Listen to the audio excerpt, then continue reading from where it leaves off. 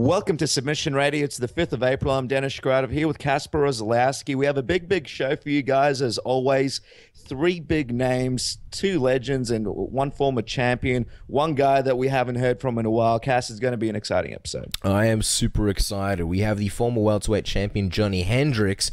He is going to be chatting to us. Lots to talk to him about. We have Ken Shamrock, the world's most dangerous man. He's going to be returning to Submission Radio.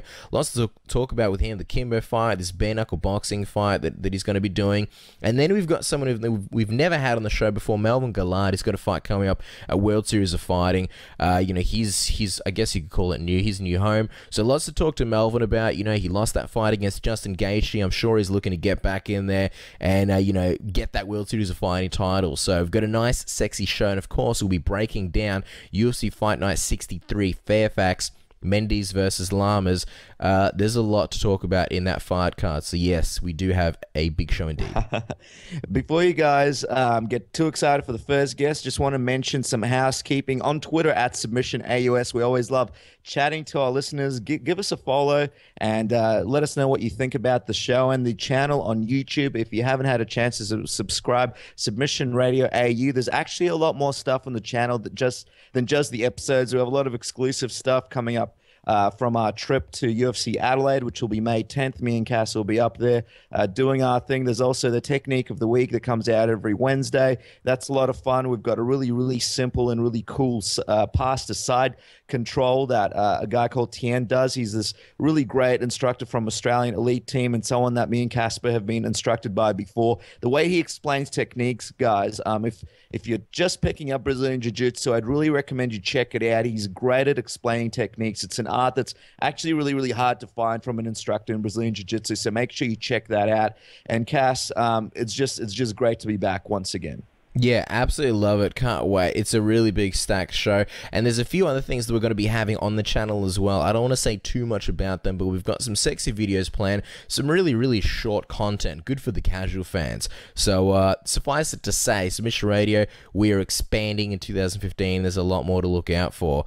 Um, of course, Twitter at Submission AUS, and now pretty much moments away from our first guest, aren't we, Denis? Yeah, that's right, guys. And also, we love to hear your comments on YouTube. If you are listening on YouTube, give us your thoughts on the show, your thoughts on the guest, any questions that you have to us. We do answer everything personally. No PR team for Submission Radio. Me and Cass enjoy answering uh, listeners' questions all the time. So don't feel don't feel shy. If you have a question, chuck it up there. We appreciate your time. The way the guests are going to go this week, it's going to be Melvin first, followed by Ken Shamrock, finishing off with Johny Hendricks and Cass. I believe Melvin is on the line right now.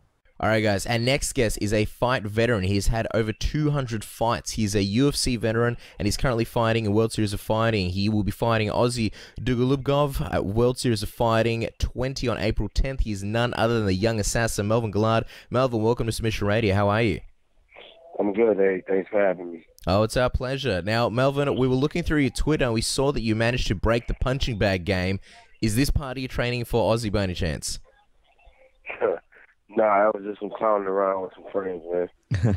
now you're a few mo- months removed from your fight with Justin Gaethje. You had some issues making weight for that fight. For fans who don't know the story behind it, what caused those issues? Uh, just I just missed time my my weight cut.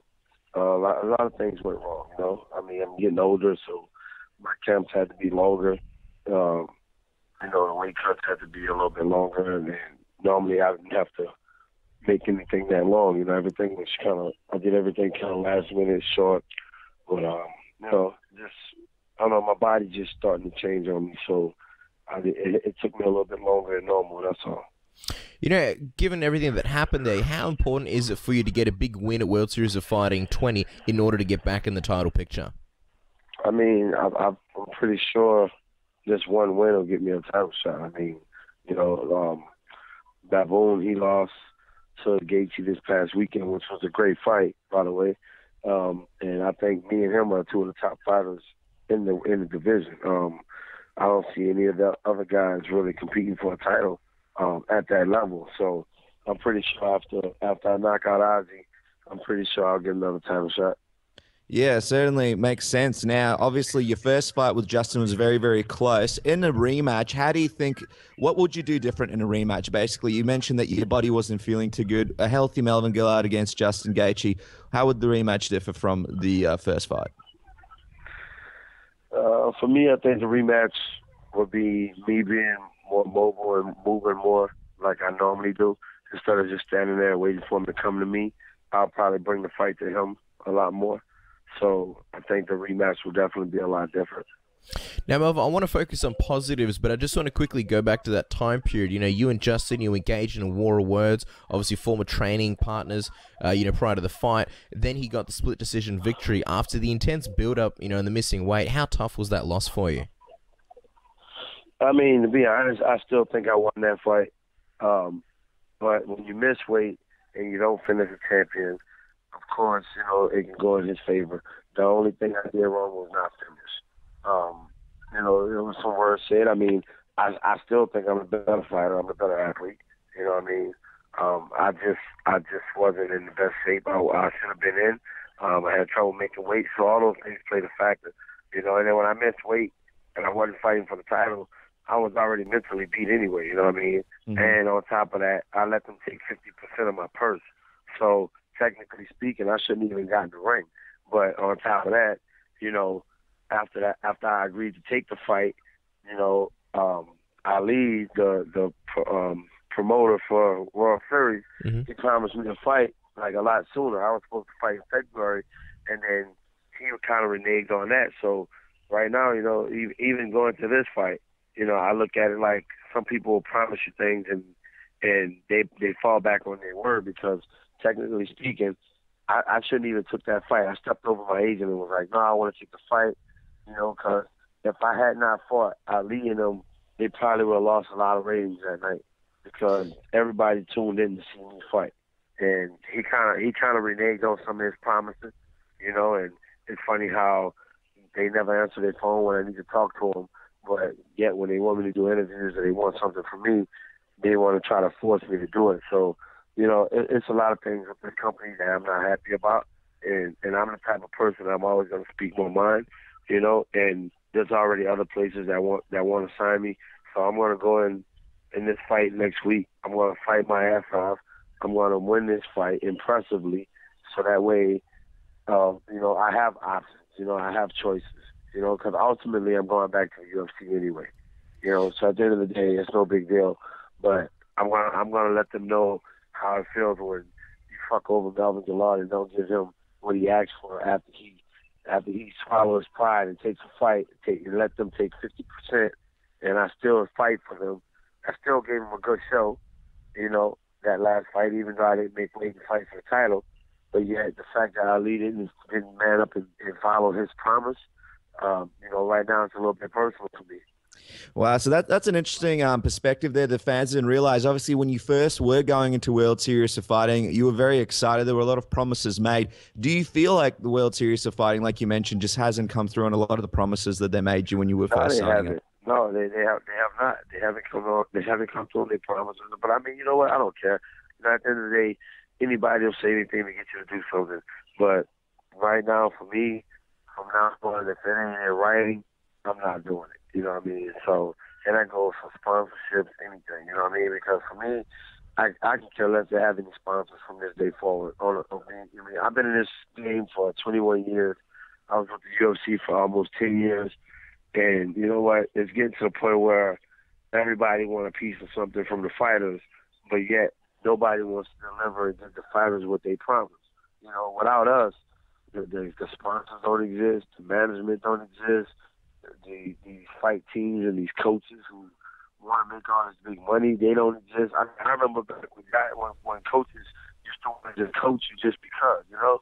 But now it's like everybody want a percentage of something.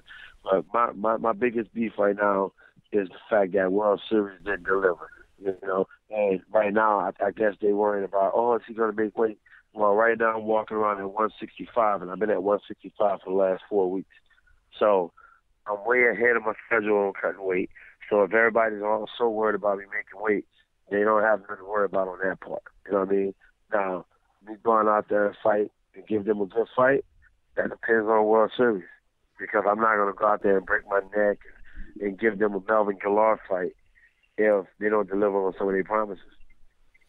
Wow, I mean, I guess the positive from there is that you're obviously, you know, set to make weight, and that's great.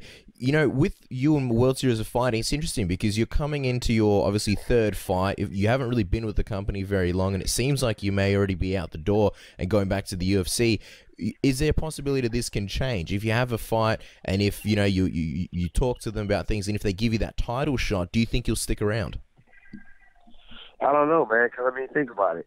You know, Justin I, don't take nothing from Justin, but you know he he's good. He's a good fighter. You know he's a champ right now. But if technically speaking, nobody even know who he is. I mean, I'm I'm I'm around people right now still.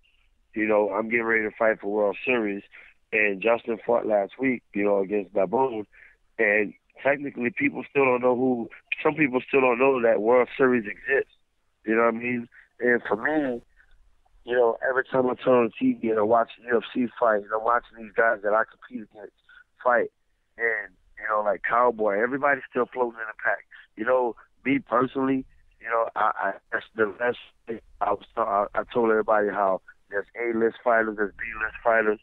You know, I still feel that way because I know for a fact I'm an A list fighter. I know for a fact that Justin, if he went to the UFC, he'd probably have trouble being in the top five. You know what I mean? I'm not taking nothing from him at World Series. He's the best guy there is at World Series. But for me, you know, I miss weight. I had personal issues going on, so that prevented me from becoming champion. If I don't become World Series champion at this point, it really doesn't bother me. You know, to be honest, instead of being a World Series champion, I'd rather be in the UFC just fighting in the top ten and probably never becoming a UFC World Champion. If that was, if if I had that option. You know what I mean? If I had the option to be a World Series champion right now, or go back to the UFC and finish out my career with the UFC, whether I get a title shot or not, I would take that UFC fight, that UFC contract over a World Series. Yeah, certainly an interesting point. Now, Melvin, obviously the lightweight division in the UFC is really switched up as of late. Have you sort of you were such a big part of that division for a really long time? When you watch it, do you sort of miss being a part of it and miss being Hell a part yeah, of the I shows? Do, man. You know, like sometimes I tear up watching that, man. And you know, the sad part I think about was when how they released me. You know, because technically I beat Ross Pearson. I'm watching Ross mm-hmm. Pearson fight guys. You know, and all of a sudden when I was supposed to have the rematch with Ross, he had a, a, a ACL or some kind of injury, but yet he fought literally a month after I fought Michael Johnson which didn't make sense for me to rematch against Michael Johnson. But at that point, and at that time, he needed me to fight in London because why? I was me and Michael Johnson was the biggest name on that card. You know, it, it's cool, man. Like I'm just to the point where I'm not letting people use me anymore because at the end of the day, I'm always be a fan favorite. I, whether I win or lose, I always put on a great show. I always fight my ass off because that's who I am. I'm going to fight regardless. But I'm, I'm tired of these promotions and these promoters like trying to use me to say, oh, we need you to do this, but we're going to give you this. You know what? If they can't give it to me up front, then I don't want it. You know what I'm saying? So on my way out the door from World Series, most likely, you know, I might even make a pit stop at Bellator because right now Bellator, from what I'm seeing, I hear they taking care of the guys. They're better the guys pretty good. I mean, I, I turned 32 yesterday. You know, what I mean, my birthday was yesterday, and you know what? I still feel young. I still feel good at this point right now, it's about them paying me for my talent. You know what I mean? I've always felt like I was underpaid for my talent. But ultimately, yes, I want to go back to the UFC. I want to fight the top 10, top five contenders, you know, maybe even fight for the title, and I'll give it another run. But this whole World Series thing, man, to be honest with you, after this fight, I'm probably going to be done with it anyway happy birthday for yesterday, Melvin. You know, I just want to talk about obviously the UFC. Your departure from the UFC came as a shock to many. You know, it was really only one loss. It's not like you're on a big streak. And Dana White suggested right. you get a few wins outside the company. Obviously, you're not the champion at the moment, but have you spoken to Dana White about it? And have you sort of gauged it, or you know, anyone from the UFC, and sort of said, "Hey, is there room for Melvin Guillard back in the lightweight division?" No, not yet. I mean, me and Dana always had a great relationship, so you know, when the time comes, you know, after I win those two or three fights that they want, you know, then I'll talk to him. But the way things have been going lately, you know, with me missing weight, you know, that was one of the biggest issues. You know, I even missed weight against Michael Johnson. You know, mm-hmm. so you know, looking back on just the little weight, the weight cutting issues that I had, you know, I had to change some things up. But I finally got that, you know, where I needed. So right now it's about just winning the fights that they want. Once I win the fight that I need to win, you know, and then then I'll go to Damian and talk to him, you know. But in, in the meantime, I'm going to continue to pay attention because I've been paying very close attention to the UFC lightweight division, you know. Um, so for me, I'm just waiting for the right time and the right moment. You know, maybe they, they may even call me before I call them. Now, you do have a scheduled fight with, with World Series of fighting against Ozzy. He's not a very well known fighter, but he is quite dangerous. What are some of the things that you've been working on in camp for your fight with Ozzy? Man, you know, at the end of the day, um, I I barely know anything about the kid. I watched him fight maybe once or twice. Mm-hmm. You know, at the end of the day, for me, it's about going in and doing my thing. You know what I mean? I'm I'm at the point now in my career where I'm gonna go in and fight my fight because everybody that's scheduled to fight me, no matter who they are, there's some kind of fear in their heart. You know, people people worry when they have to fight me because sometimes they don't know which Melvin Guillard is going to show up. They don't know which one which one's going to be there that day. Either way, I'm a dangerous fighter. I'm the one everybody's worried about, and I think right now this kid's more worried about me than I'm worried about him. To be honest with you, I I, I haven't really even lost any sleep over knowing I'm going to fight this kid. Well, over the last few years, Melvin, you know, we've seen you switch camps up quite a bit between places like Jackson Winkeljohns and the Blackzilians. You know, I'm wondering, you know, why was that? And have you finally found your permanent home for training? I don't know, man. I mean, you know, for me, when I first started fighting, you know, I remember being the only guy in the gym and just had random guys come in and beat bodies in the gym. Um, you know, this whole team thing. I mean, it's cool. I mean, I love being on American Top Team. Um, but for me, it's like I've always been like the Lone Ranger. I've always been that one guy that, you know, as long as I'm in shape, I'm good. You know, I already know how to fight. So uh, I'm not switching camps anymore. If that's what you're asking, I mean, uh, I'm kind of done with that. I kind of regret leaving um, Greg Jackson's camp at the time I did. You know, I was at the time I was listening to Rashad, and Rashad kind of talked me into coming to South Florida, and it, it's kind of crazy because I came out with the Black Blackzilians. I had no success, and to be honest, me and Rashad don't even speak anymore. You know what I mean? And we both live right here in Florida. Every, occasionally, I might see him at the at the Plum Cigar shop. You know, whenever me and my wife go. But other than that, I don't really see Rashad. You know, he don't call me. I don't talk to him, and it kind of sucked because me and John actually had a pretty decent relationship, and I think I ruined that relationship by coming here with Rashad ultimately.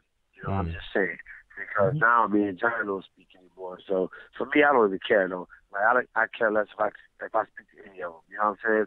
But at the end of the day, you know, I was trying to be the bigger person and say, hey man, you know, I looked at those dudes like big brothers. You know what I'm saying? Right now, you know, honestly, I would piss over the fields on fire. I'd probably set them on fire my damn self. That's how much I care about them. Yeah, certainly interesting, Melvin. You know, you mentioned that basically you and Rashad don't really speak that much anymore. Were you guys really close at one point? What do you think? Why do you think Rashad doesn't call you as much as he used to? I don't know. I mean, you know, me personally, I think a lot of people let money change change them. You know, and you know they start. You know, I don't know, man. It's just they they start they start hanging around certain people. They start hanging around people that other people that has money instead of you know. For me, whether I have money or don't have money, I'm always be around you know, the same people that I've always been around.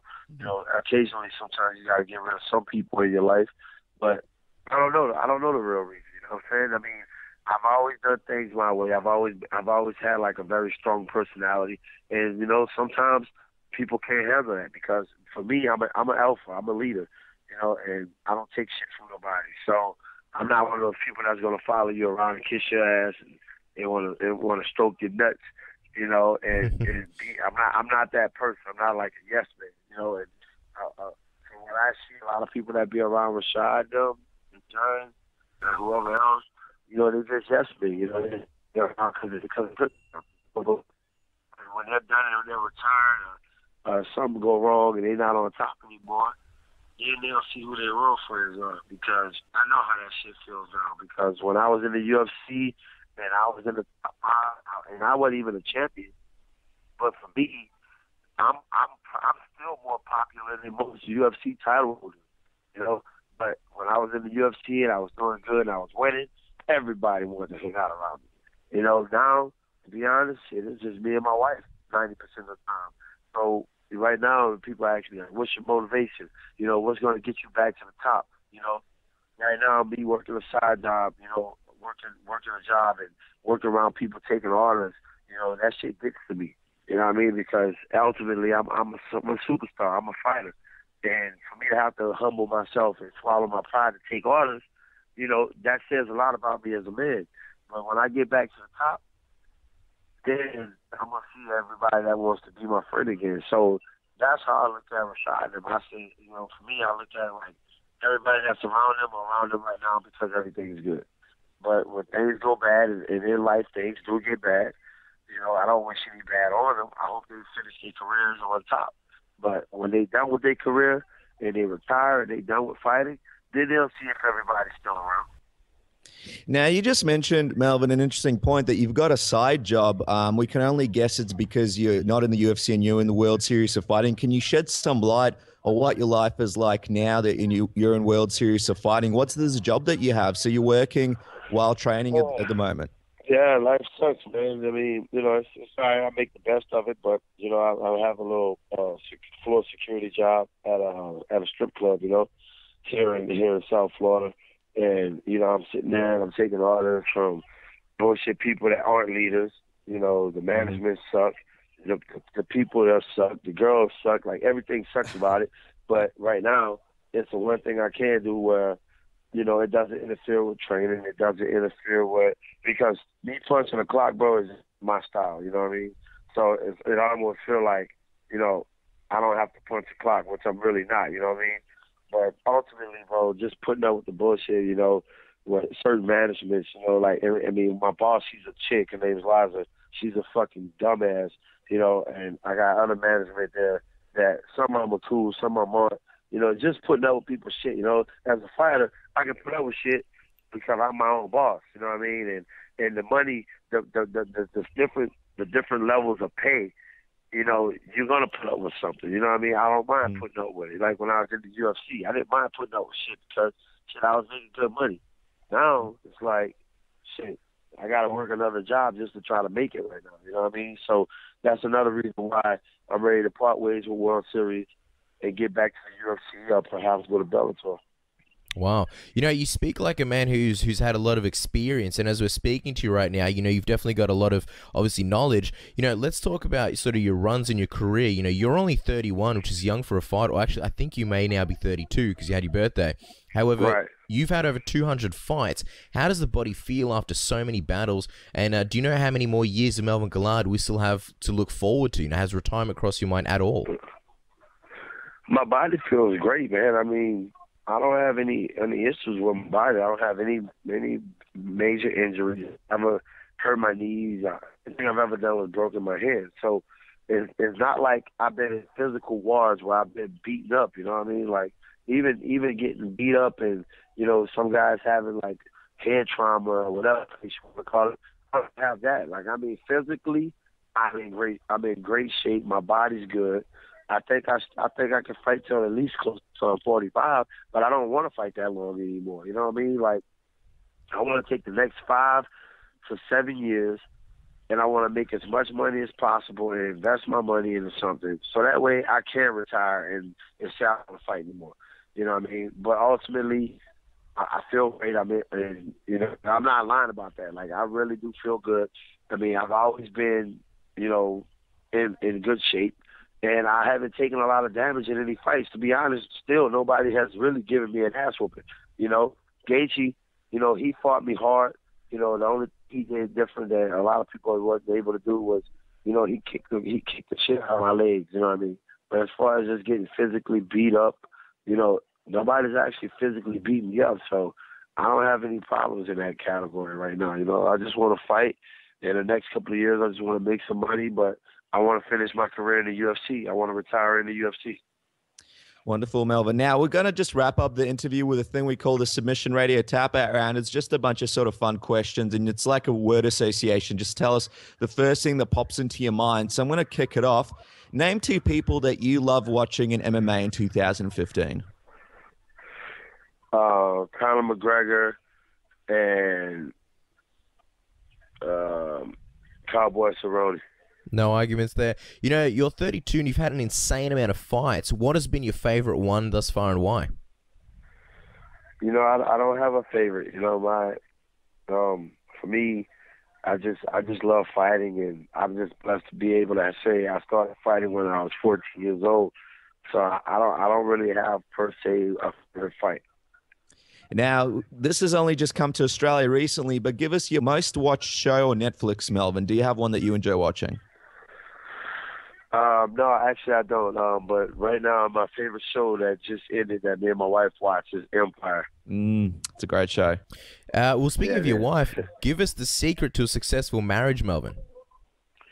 Man, I, you know I don't think there's really a secret to success, man. Just being that you can love your your, your spouse and be willing to accept what they are, who they are, and being lenient and, and allowing them to do the things that they want to do, whether it's right or wrong.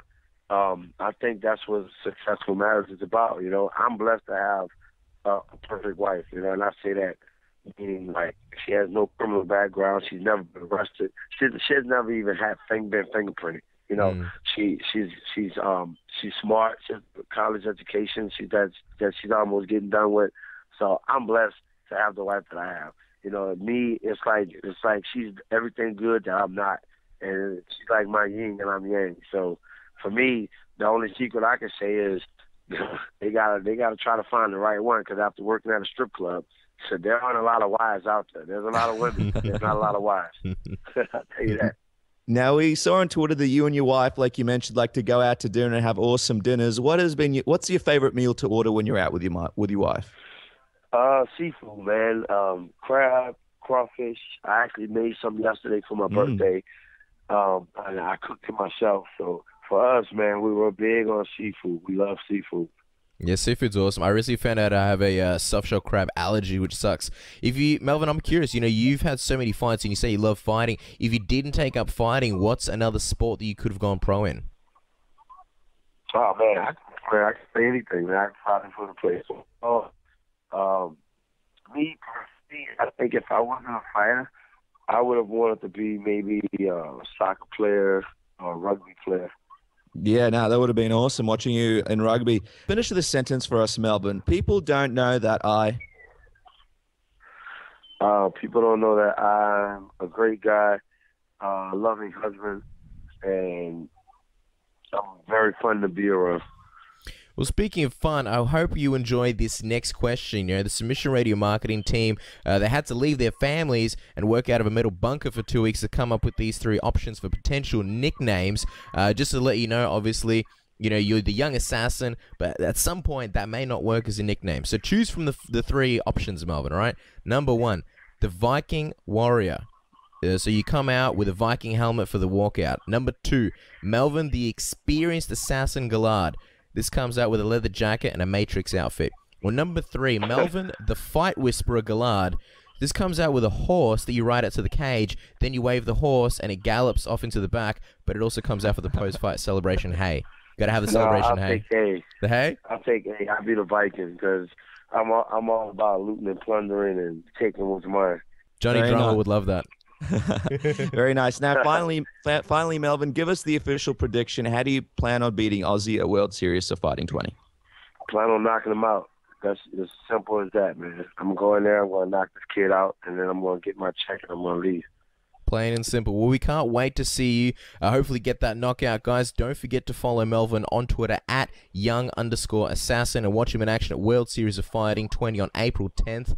Uh, Foxwoods Resort and Casino, guys, in Connecticut. If you want more information, go to wsof.com for more info. Melvin, it's been a pleasure chatting to you. Thanks so much for chatting with us. All right, thank you. Hey guys, this is Frank Edgar, and you're listening to Submission Radio. All right, guys. Our next guest needs very little introduction. He's returning to the show. He is a legend in mixed martial arts, a UFC Hall of Famer, and also a legend in the sport of pro wrestling. He'll be fighting none other than Kimbo Slice on June 20th at Bellator 138. He is Ken Shamrock. Ken, welcome back to Submission Radio. How are you? I'm doing well. How about yourself?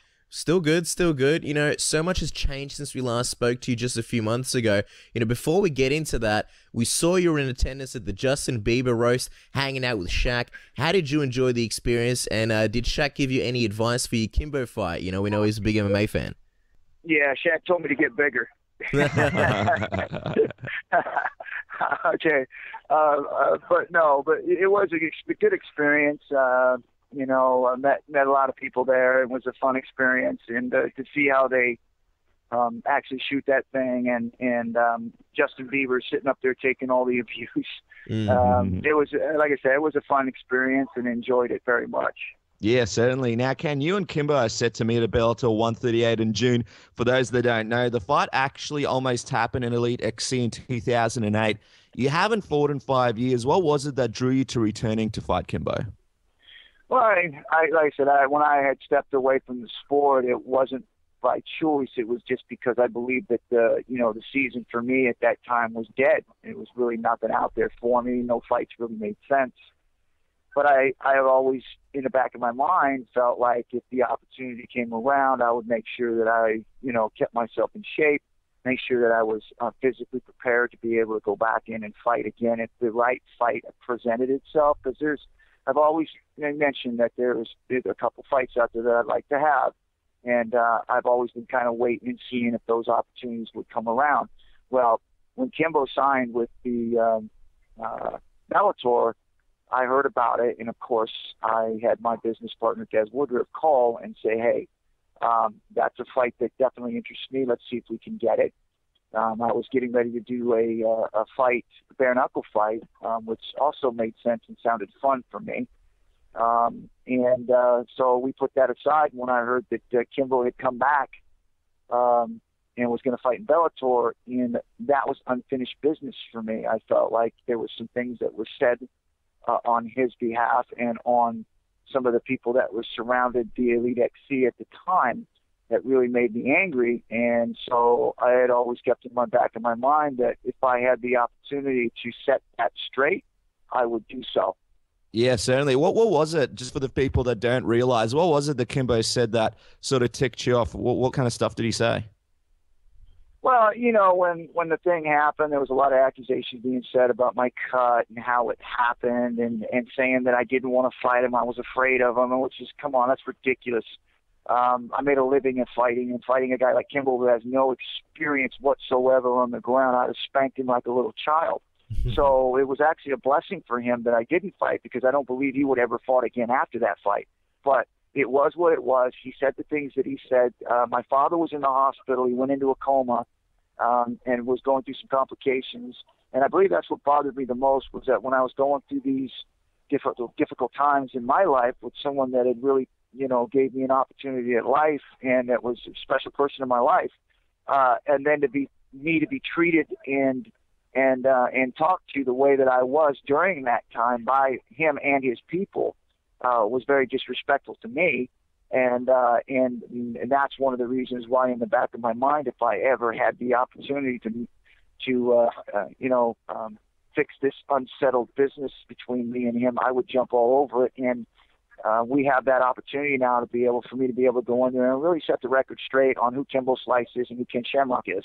Sure. And, you know, it's funny because Seth Petruzelli actually had similar sentiments when we spoke to him about, you know, Kimbo and his, his backstage crew. I want to ask you, Ken, because last time we had you on the show, you know, you were talking about moving on with, you know, the next phase in your in your life, in your career, and you were saying how, you know, you can't fight forever and things like that. And you didn't quite disclose what you had planned, but you said you had big plans. And we weren't sure what kind of business opportunities they were going to be. And now it seems obviously you're back in fighting. Was this always the goal, or was were you going to do something completely different, and then this Kimbo fight came along?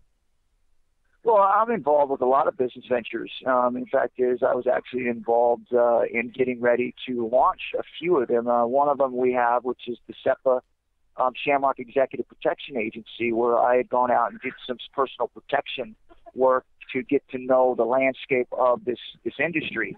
And now I have my own business. We have a business plan. We have the investors. We have the actual website. We have it all uh, set up and ready to rock and roll. So that's definitely something that I put my my time and effort into personally uh, in the field and also in the office um, learning um, what we need to do to get this thing going. And we're at that beginning stages now. We're ready to launch the Shamrock Executive Protection Agency. We don't want a lot of advertisement on it, obviously. We want to go more stealth uh, type, uh, you know, direction. Uh, we believe we can get, uh, you know, more significant jobs that way, obviously. So, uh, but that's that's that's in the works and getting ready to go. Um, they'll also have a pro rage management company for professional fighters uh, where we manage fighters. Um, that's something we're doing. And then, of course, launching the Shamrock Slam drink, which was something that we were also working on at the time. Uh, we were um, actually getting the shelf life um, to make sure that it was going to pass the inspections. And now that we are past all that, now we're actually doing a launch of the Shamrock Slam drink around the same time that I'm doing this fight. When the fight came out, um, and this opportunity arose, I thought I saw a great opportunity to be able to, one, settle some unfinished business. To use the uh, the opportunity with the fan base and the people that are going to follow this fight to also let people know my new business ventures. Yeah, certainly right, Ken. I mean, a lot of exciting stuff happening. Let's look at, to, at this fight with Kimbo. First of all, obviously, it's been a while since you've been in the ring, so it must be tough to shake off some of that ring rust. Who are you working with to prepare for Kimbo? What are you sort of, what areas are you focusing on in your preparation? Well, I'm not going to get into who I'm working with and how I'm working. Um, uh, I'm working with some guys that uh, I've known for a very long time. Uh, I have trained a lot of people in my time, and I'm bringing people in that I know that I can trust, and that I can work with, and that I can move forward uh, in in my direction of, of of being able to put an end to Kimbo Slice. Um, I'm very excited about this fight. I'm very excited where I'm at right now, uh, and and most of all, I'm very excited about how my body's responding.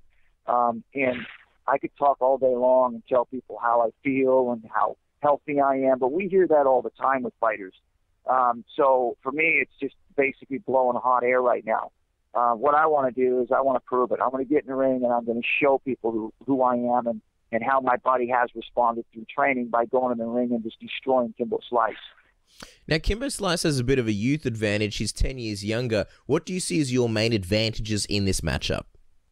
Well, I, he may be 10 years younger, but um, I've kept myself in shape. Uh, I've treated my body very well over the years, um, and I've stayed in training, and I don't put on a lot, a whole lot of extra weight. I've always stayed in shape, and I've kept myself physically fit.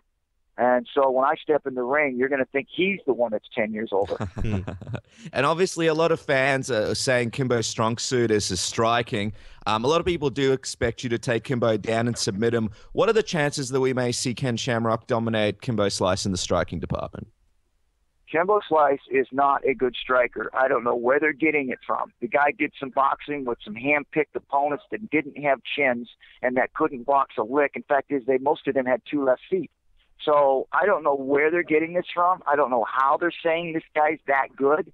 I've never thought that he's been that good. I've never even, uh, except for the very first time uh, when I went in and I was going to fight him, I always thought, okay, well, obviously he's winning some of these fights, even though they're hand picking him.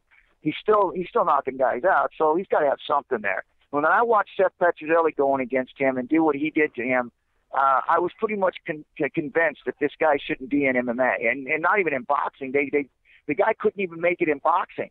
I mean, um, they tried to handpick fights. They tried to push him.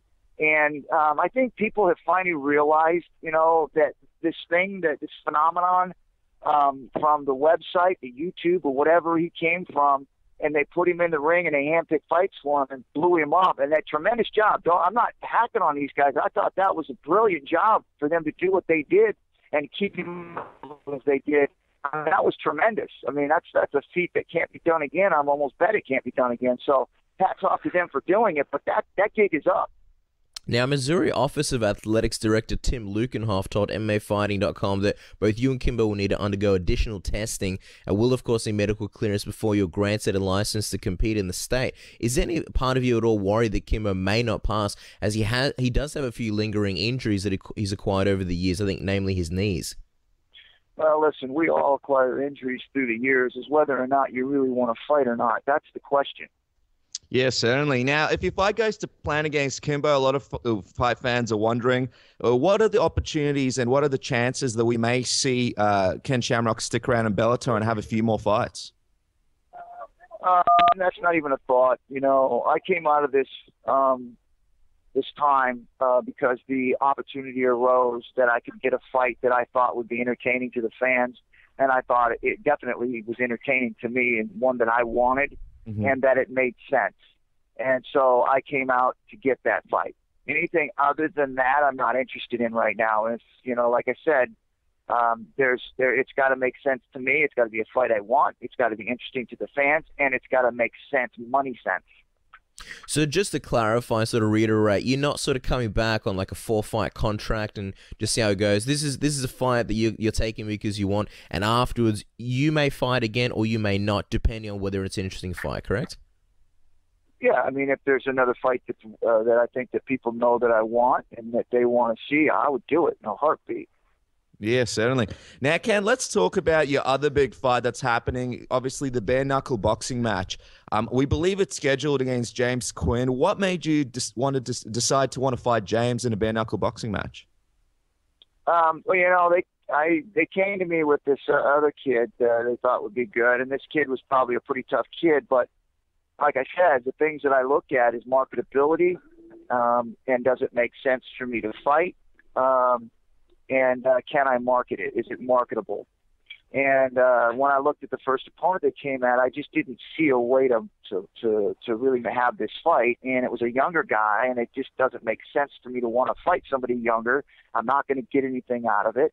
Um, it's hard to market somebody that doesn't have a record yet. Um, so I had to pass on that. Well, they came back to me with a guy that was a legend in bare knuckle fighting, um, James Quinn, and was undefeated. And I was like, okay, now this has got some legs to it.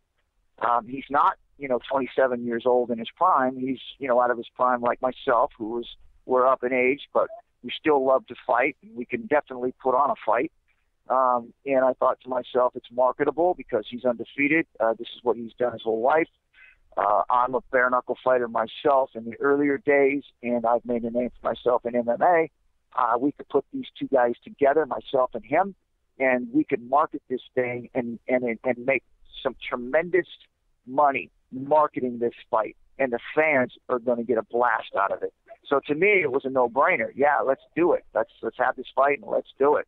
So that's that's the reason why I actually stepped into this fight was because it made sense. It marketing and uh, and the actual opponent made sense. Well, you know, I'm fascinated by this because, you know, the way you've broken it down, okay, I can definitely see why it makes sense. But from what we know, bare knuckle boxing is considered unsanctionable. So, you know, it will be happening in a secret location. I guess the big question is, you know, why return for a fight that most fans won't be able to watch live? Well, that fight's not going to be secret. We're going to put that on pay per view. Oh, wow. Right. Yeah, okay. that's going on. That's going to be that's going on pay per view.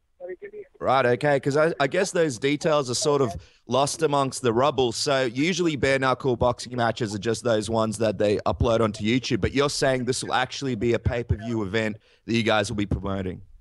You know, so this fight's going to be on pay per view. Uh, anybody's going to be able to get it. The Bellator one's going to be on free TV. The bare knuckle boxing with James Quinn is going to be on pay per view. We're not hiding this fight. People want to see it, and it's not illegal. It's not dangerous. Uh, we're going to educate people on the uh, the gloves and also without the gloves. When we actually bring this fight out, we're going to have people who have tested the results um, on this and understand how the brain works and how much damage is taken over and over by putting a glove on the hand and pounding you in the head with your brain bouncing off the walls 120 times in a fight, as opposed to a bare knuckle fight where you're only going to hit him three, four, maybe at the most 20 times before you put him away. Yeah, certainly. I guess my question to you, Ken, is uh, who's going to sanction this? Is it someone? Is there a, a, body or a party that can sanction this? Is it something? Is that has to go through an athletic commission? How how's it going to come together? Yeah, it won't be sanctioned. It'd be just like when No Holds Barred first started out in MMA. It was an event, and you go get licensed for one event, and then you put it on, and it's not illegal to do that. It's just not sanctioned by the governing body. but doesn't mean you can't still do the event. It doesn't mean you can't still put it on TV. Okay. Yeah, sure. Uh, sorry to interject, Cass, but I was wondering with bare knuckle boxing, obviously in the rules, one person brings a person with them to referee the fight, and another person brings another person with them to referee the fight. Will it be the same kind of rules, or is it sort of going to be like uh, just bare knuckle boxing, like boxing without any any uh, any gloves, and it'll just be one referee? Well, I mean, this is going to be an event where there'll be multiple uh, fights on it. Um, okay. And it's going to be just like a regular event. And we're going to have a referee there. We're going to have uh, doctors there. It's going to be a regular event. It's just not going to be sanctioned because there are no rules to it yet. And I guess one other question, because from what we've seen with bare knuckle boxing, a lot of it's taking place in like you know fields and meadows. Is this one going to be in an arena? Oh, it's going to be an arena, man. We're gonna we're gonna have it in a uh, in a special lane. Um, it's going to be unique, and um, we're going to have it in a venue, and and it's going to be no different than what you see uh, with MMA, boxing, or wrestling, or anything that holds an event in a, in an arena. Like I said, it's no different than when No Holds Barred first started out, and they couldn't get sanctioned in cities. They had to go in and get licenses in order to hold the event. That's all we're going to do. It's going to be the same thing.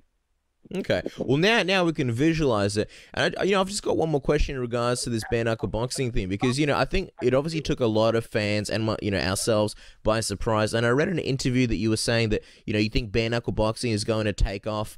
Um, certainly not something that I expected, but I mean, hey, I don't want to be close minded given where MMA came from, where it is now. Do you think the bare knuckle boxing, you know, could be big in a few years and possibly, you know, have a big uprising like mixed martial arts did back in the day to now?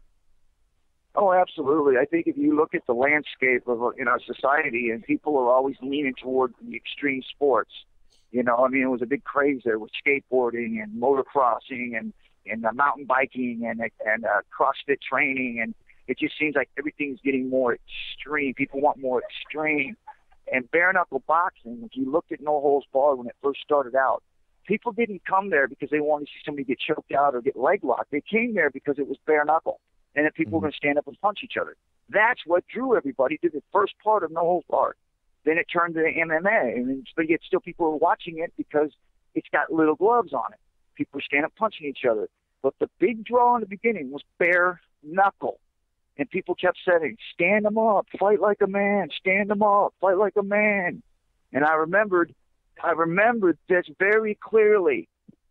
They always want you to stand up and fight. And so we're going to give it to them. We're going to cut through the chase. We're going to take the gloves off. We're going to give them three rounds of five minutes each, a straight bare knuckle. Yeah, certainly. Now, you, we mentioned James Quinn, obviously one of the best bare knuckle boxers in the world. Let's talk about this matchup for a second. I mean, you're you're one of the greatest legends in MMA. How do you see this one going? And you know, what do you feel like your advantages are in this matchup? Obviously, you're a professional fighter, and James is a bare knuckle boxer.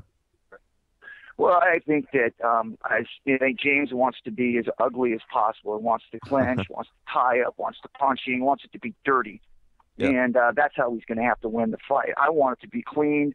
I want it to have some spacing. Uh, I want it to be clinching, but at the same time clinching, and I want to be the one in control.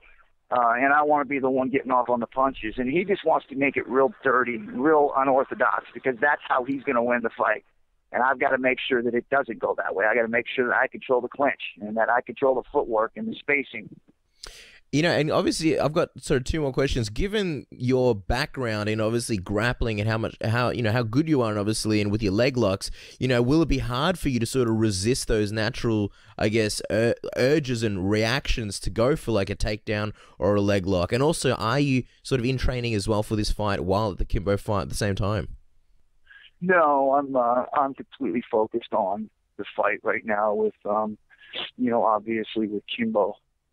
Um, that's my focus. Yeah. And so okay. my my training is very very very um, directed towards that fight. The Quinn fight will be very simple for me.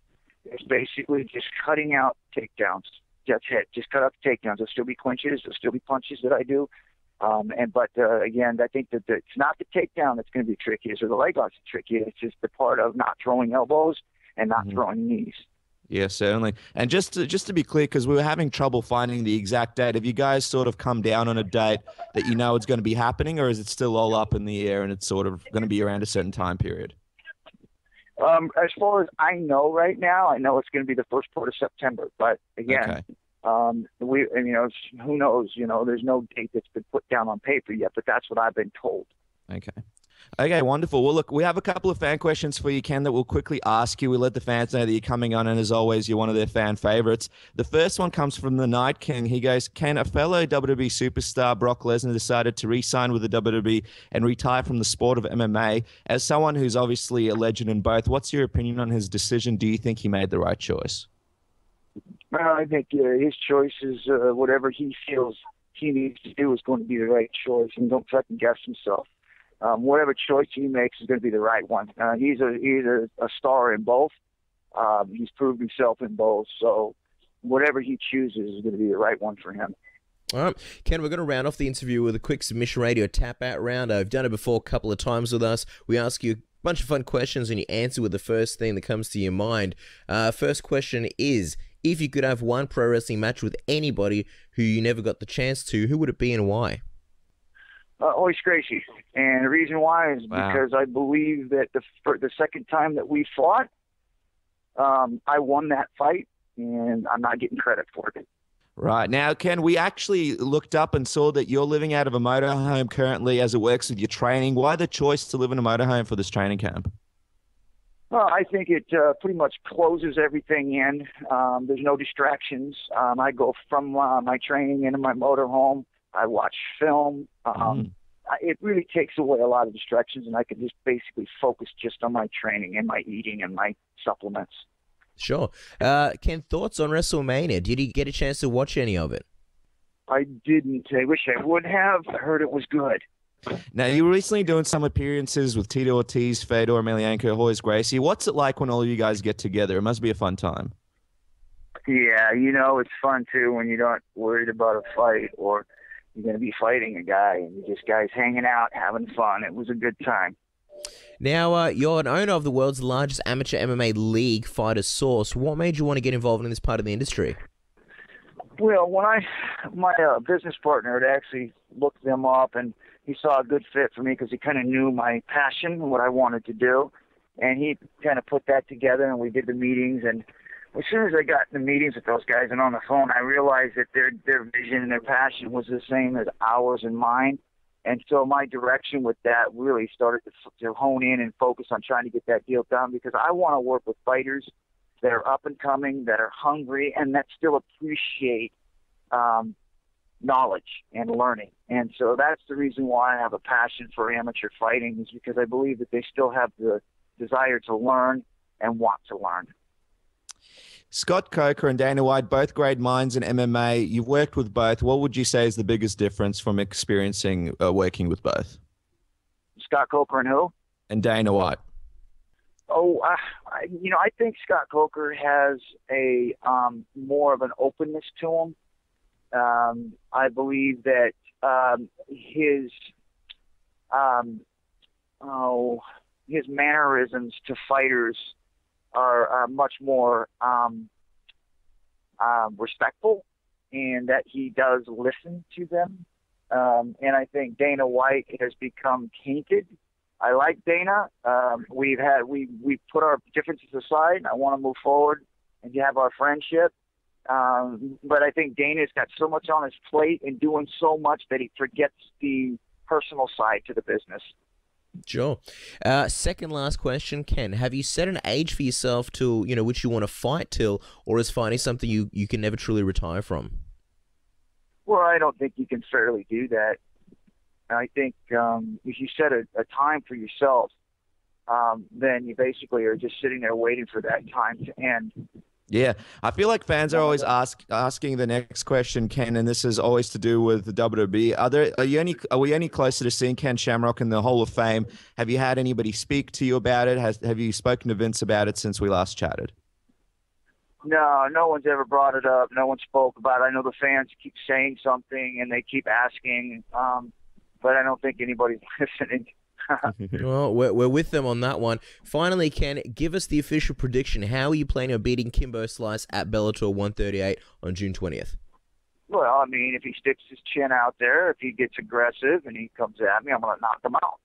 Um, and if he gets, you know, too crazy or or you know, and doesn't uh, uh, protect himself, I'll take him down. So I, to me, I can beat him anywhere I want to beat him. And that's going to be the fun part with this fight is, is that I'm going to be able to do what I want to do when I want to do it. Well, there you guys go. Guys, check out Ken Shamrock's new drink, Shamrock Slam, and his amateur MMA League fighter source. You can watch Ken take on Kimbo at Bellator 138 June 19th and follow him on Twitter at Shamrock Can. Ken, best of luck with your fight with Kimbo. I'm sure we'll be speaking to you very soon and have a great day. Well, I appreciate you guys having me on. God bless. This is Randy Couture, and you're listening to Submission Radio. Our next guest owns a truck that looks like something out of Batman The Dark Knight Rises, only this one has more gadgets. He's a former UFC welterweight champion, is coming off an impressive win over the always tough Matt Brown. Johny Hendricks, welcome to Submission Radio. Hey, thank you for having me. Hey, the pleasure is all ours. Now, Johny, how have the last few weeks been for you after that dominant victory over Matt Brown? Uh, we're imagining you treated yourself to some kind of massive carb filled meal at the Big Rig Steakhouse. Uh, yeah, we did. I've eaten my uh, I've eaten my uh, the cats a couple times, but you know, realistically, uh, I am. You know, right now I've already I've already started lifting weights last week. Um, this week we're starting to put on more muscle. That's really been my focus the last uh, last camp, and also this camp. You know, the weight cut was a lot easier, and I just want to make it easier and easier on my body. Yeah, certainly right, Johny. I mean, the performance that you had against Matt was very impressive, very, very dominant. It's a few weeks removed from the fight. After the fight, you mentioned that you weren't uh, happy with certain aspects in the fight that you performed. You know, a few weeks out, how do you feel about the fight? Are you still a little bit disappointed with certain aspects of the fight? You know, I, I did good. You know what I mean? I did good. I think I think it was more or less the the leading up to the fight. You know, because that was the first week coming down Mike Dolce and those kind of things were always playing through your head. Is it going to be this? Is it going to be easy? You know what I mean? Uh, and then, you know, like I said, you can't take nothing away from Matt Brown. You know, we knew he was going to be coming after me, um, and that's why the wrestling it made it makes it a little bit easier when a guy like that is taller than you and is always pressuring you. You know, um, I know the fans wanted to see, and it could be my, you know, it's just my preference. You know, I wanted to do more stand up, but you know, when a guy's always just you know, you hit them, you hit them, you hit them, and you're doing stuff, and they're always coming forward. Sometimes you got to mix it up. You know, I figured it'd slow them down some, but it didn't. You know, and I, we we sort of thought that too. But you know, it's just one of those things that you just got to sit there and say, hey, I'm I'm happy with beat, being able to beat Matt Brown first off, and second of all, uh, you know, it just moved me right back in that title. Yeah, for sure. You know, the positive thing is you look like you're in tremendous shape against Matt Brown. You know, the six pack was out. You were a lot more shredded than in your previous fight. How did you feel physically, and would you say that you hit your physical peak for this last fight? Uh, yeah, I did. Um, I felt really good. Um, I think I need to drink a little bit more water the day of the fight. Usually, you know, I'm bumping up to like 200. You know what I mean? I fight around 195, 200. I think I stepped in the octagon at like 188 wow. this fight. So I think I was a little bit dehydrated going into this one. So you know, I didn't really start sweating. You know, I got really bad cotton mouth uh, in between rounds, um, and you know that's something that we're gonna work on. Uh, and that's half my fault too, because you know, like I said, this is all new, um, being by myself. So uh, it's going to be a learning curve. It definitely is. But you know, um, I'm happy with uh, what happened, and I'm going to get better. Yeah, that's a great point. Now, we remember reading a quote from you where you said that you're not going to stop living your life. We think it was in regards to dieting and you'd still like to enjoy food despite being a fighter. How hard was the decision for you to change that up? And by changing your diet, are you still able to enjoy the food that you used to? Or are they all out the window now? You know, here's the thing is that no, actually, I haven't eaten healthy since my fight. And I'm still waking up under a little under 200. You know what I mean? Um, and one thing I've learned is portion control. You know what I mean? Uh, you know, uh, that's uh, so. For example, if I eat pizza, instead of eating the whole thing, I eat three slices, and then I put it up. You know what I mean? Uh, or if I go out to eat, I eat until I'm full, but not like over full. And I think that's sort of everybody's problem is that whenever you're paying for something, mm. you're like, oh, I want to get it all down. Um, yep. And so I'm starting to eat more leftovers and stuff like that. And I think that's really helping uh, me learn that. And as soon as I get on my diet, you know, I'm waking up at 200 right now. You know, there's a chance that excuse me. Uh, let's see here. I could probably be walking around at 92, Mm. and that'd be nice. You know I mean? Uh, an extra eight pounds I don't have to lose, or an extra three pounds to four pounds from the last camp. Uh, it's just going to make life easier. Yeah, I think we can learn a lot from that. Let us ask you, Johny, you know, what was the weight cut difference between your last Lawler fight and your fight against Matt Brown? Um, my my wife and me, uh, we got some friends involved with it. And what we do is every Sunday, we after church, we would uh, everybody come over and we'd meal prep for the week. Um, and not only that, but I also added a lot of weightlifting. You know, I mean, I think you all could tell from the last weight cut to this one. I feel like I'm stronger, and I feel like I'm I have more muscle to pull from. You know what I mean? And the more muscle you can pull from, the more water weight you can hold, and the easier the weight comes out. Does that make sense? Yeah, Uh, of course. And so th- that's sort of what we've been playing with, and that's why I want to get a little bit more, a little bit more muscle and a little less fat. It's just going to move me, uh, move me down the road a little bit quicker and a little bit better. Yeah, certainly. Now you've mentioned a few times that obviously you're doing the weight cut by yourself. You had Mike Dolce help you in the past with your weight cut. You, you mentioned that you wanted to you doing it by yourself. What was the decision behind sort of not doing it with Mike anymore and just doing it by yourself? Uh, the reason why is because um, we I, I we always called him sort of the miracle worker because he'd get me from Mhm. 215 down or 220 down to one. Um, and I think I relied too much on him. Does that make sense? Mhm. And um, this last weight cut or the last weight cut, whenever I was using him, I was just like, you know what? I got to do it by myself. If if I don't do it by myself, then I'm not going to make the changes.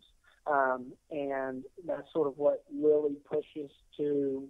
Uh, and we we split uh, good. You know, I mean, I still like Mike Dolce. Uh, I still, you know, if I see him, I'm going to be happy to see him. Like it's still, he's still working with me, if that makes sense. Um, but I just knew that it was time for me to really separate myself and say, hey, if people are going to be calling me fat or out of shape or this or that, it's time to take it in my own hands. Well, let me ask you because obviously there's a lot of sort of there's a lot of different opinions. You know, you've got some guys that are on one side of the fence and they don't really believe in Dolce's methods. You know, using BJ Penn and Tito Ortiz as an example, and then you got other guys. I think Vitor Belfort and Chael Sonnen who you know really swear by him. You know, what's your experience been like with Dolce? And you know, do you think the Dolce diet works? you know, okay, it does because even still today, I still use uh, some of the Dolce diet. Does that make sense? The only thing is, is that I just add uh, seasoning to a lot of my stuff. You know what I mean? So, and I, you know, I hey, he got me from 215 to 170 for what, two and a half years. You know what I mean? Uh, so, yeah, he, he, uh, I think he works. You know what I mean? Uh, but then there, then again, you know, everybody's different. And the reason why I say this is because, for example, if you go out and try to get a striking coach today, are you gonna, you know, and whenever you're doing something, definitely like this, whenever your life's sort of on the line, if that makes sense. Um, if you go out there and you know you got to get into an octagon with somebody, and you know that they're going to be trying to beat your face in, and are you just going to trust anybody? You know what I mean? Uh, it, it's like a trust barrier that sometimes people have it and they say, "Hey, it's the best thing ever." You know what I mean? and then there's going to be guys that, when stuff like this happens, they're going to be like, "Man, I just didn't feel it," and and that's where I say, to each their own. You know what I mean? Uh, maybe those guys they didn't feel it. You know what I mean? Maybe they didn't. Uh, they weren't. Uh, they they didn't have that connection. Does that make sense? And mm-hmm. whenever you're stepping into an octagon, like I said, it, you know, it's, it's a little bit different if you're just losing weight. But whenever you're trying to actually get in there and be at your peak performance, it, it's always a little tougher to get that. Certainly different strokes for different folks. Now, another fun thing that happened and came out of UFC 185 was that picture that Ben Askren tweeted out outside your door with a caption, I keep on knocking, but he won't let me in.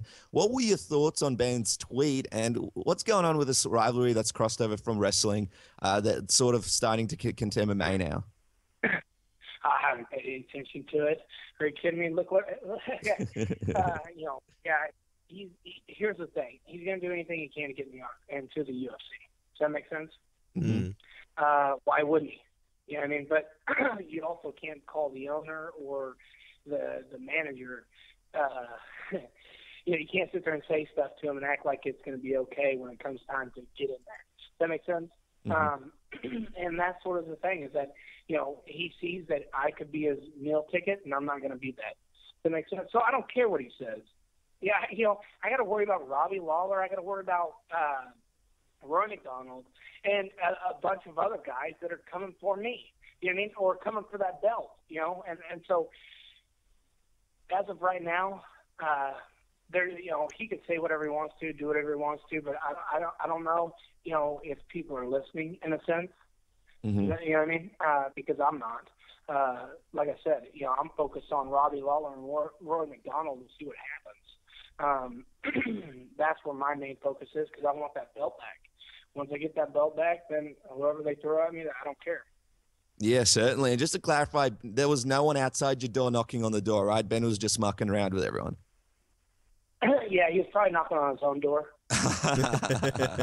Janitor door, who knows? Yeah, okay.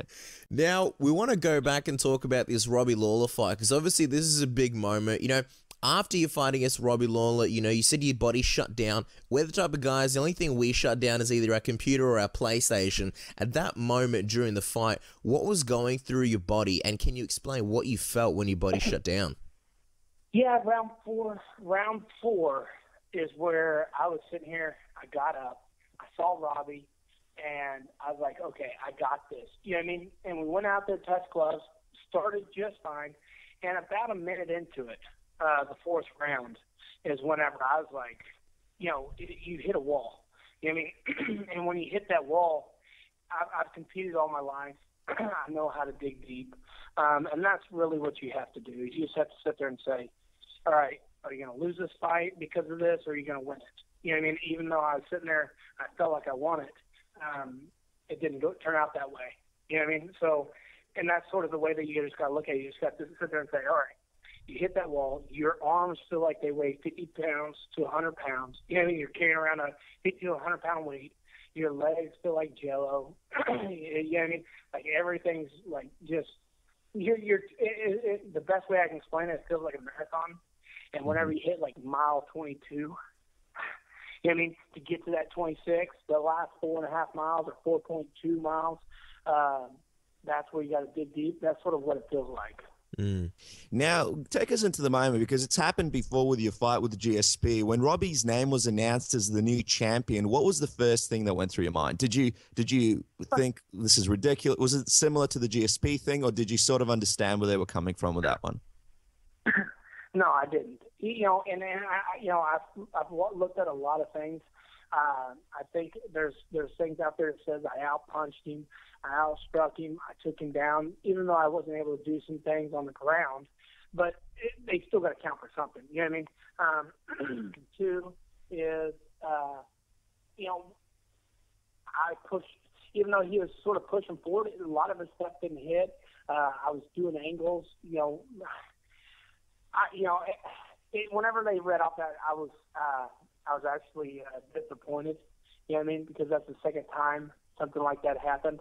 Um, the first time, you know, you're shocked, but you're not really because you know you're fighting somebody like GSP. Does that make sense? Mm. Um, and I thought I had, I did enough to win, uh, but you know, I guess they didn't see it. But to beat the champion, you've got to really beat the champion. Does that make sense? yeah. And I don't think he did. You know what I mean? I still feel like I won that fight. Um, but i- in the record books, it's, uh, I, you know, I, I think it's funny. You know, I'm one and four in the, uh, in the UFC, or one and four in Vegas.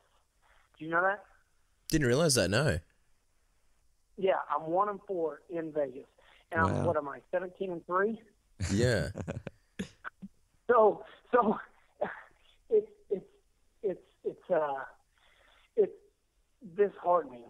Yeah, I mean I love Vegas. I, I you know I'll go back, but it's still I, I got to figure out what the judges want. You know what I mean? I got to look at them. and I got to sit there and say, okay, you want this, you like that. that's what I'm going to work for. Does that make sense? Mm-hmm. And that's really where I have to, you know, again, you go in there and you try to put on a show, you try to do this, you try to do that, make fans happy, and then stuff like that happens. Then you're like, okay, well, what do I got to do to win that fight? You know what I mean? Then you start going back and you relook at it, um, and you're like, okay, well, well, if I would have, you know, GSP second round, I had him down on his back. He couldn't get up. You know what I mean? The crowd started booing a little bit, and guess what I did? I let him up.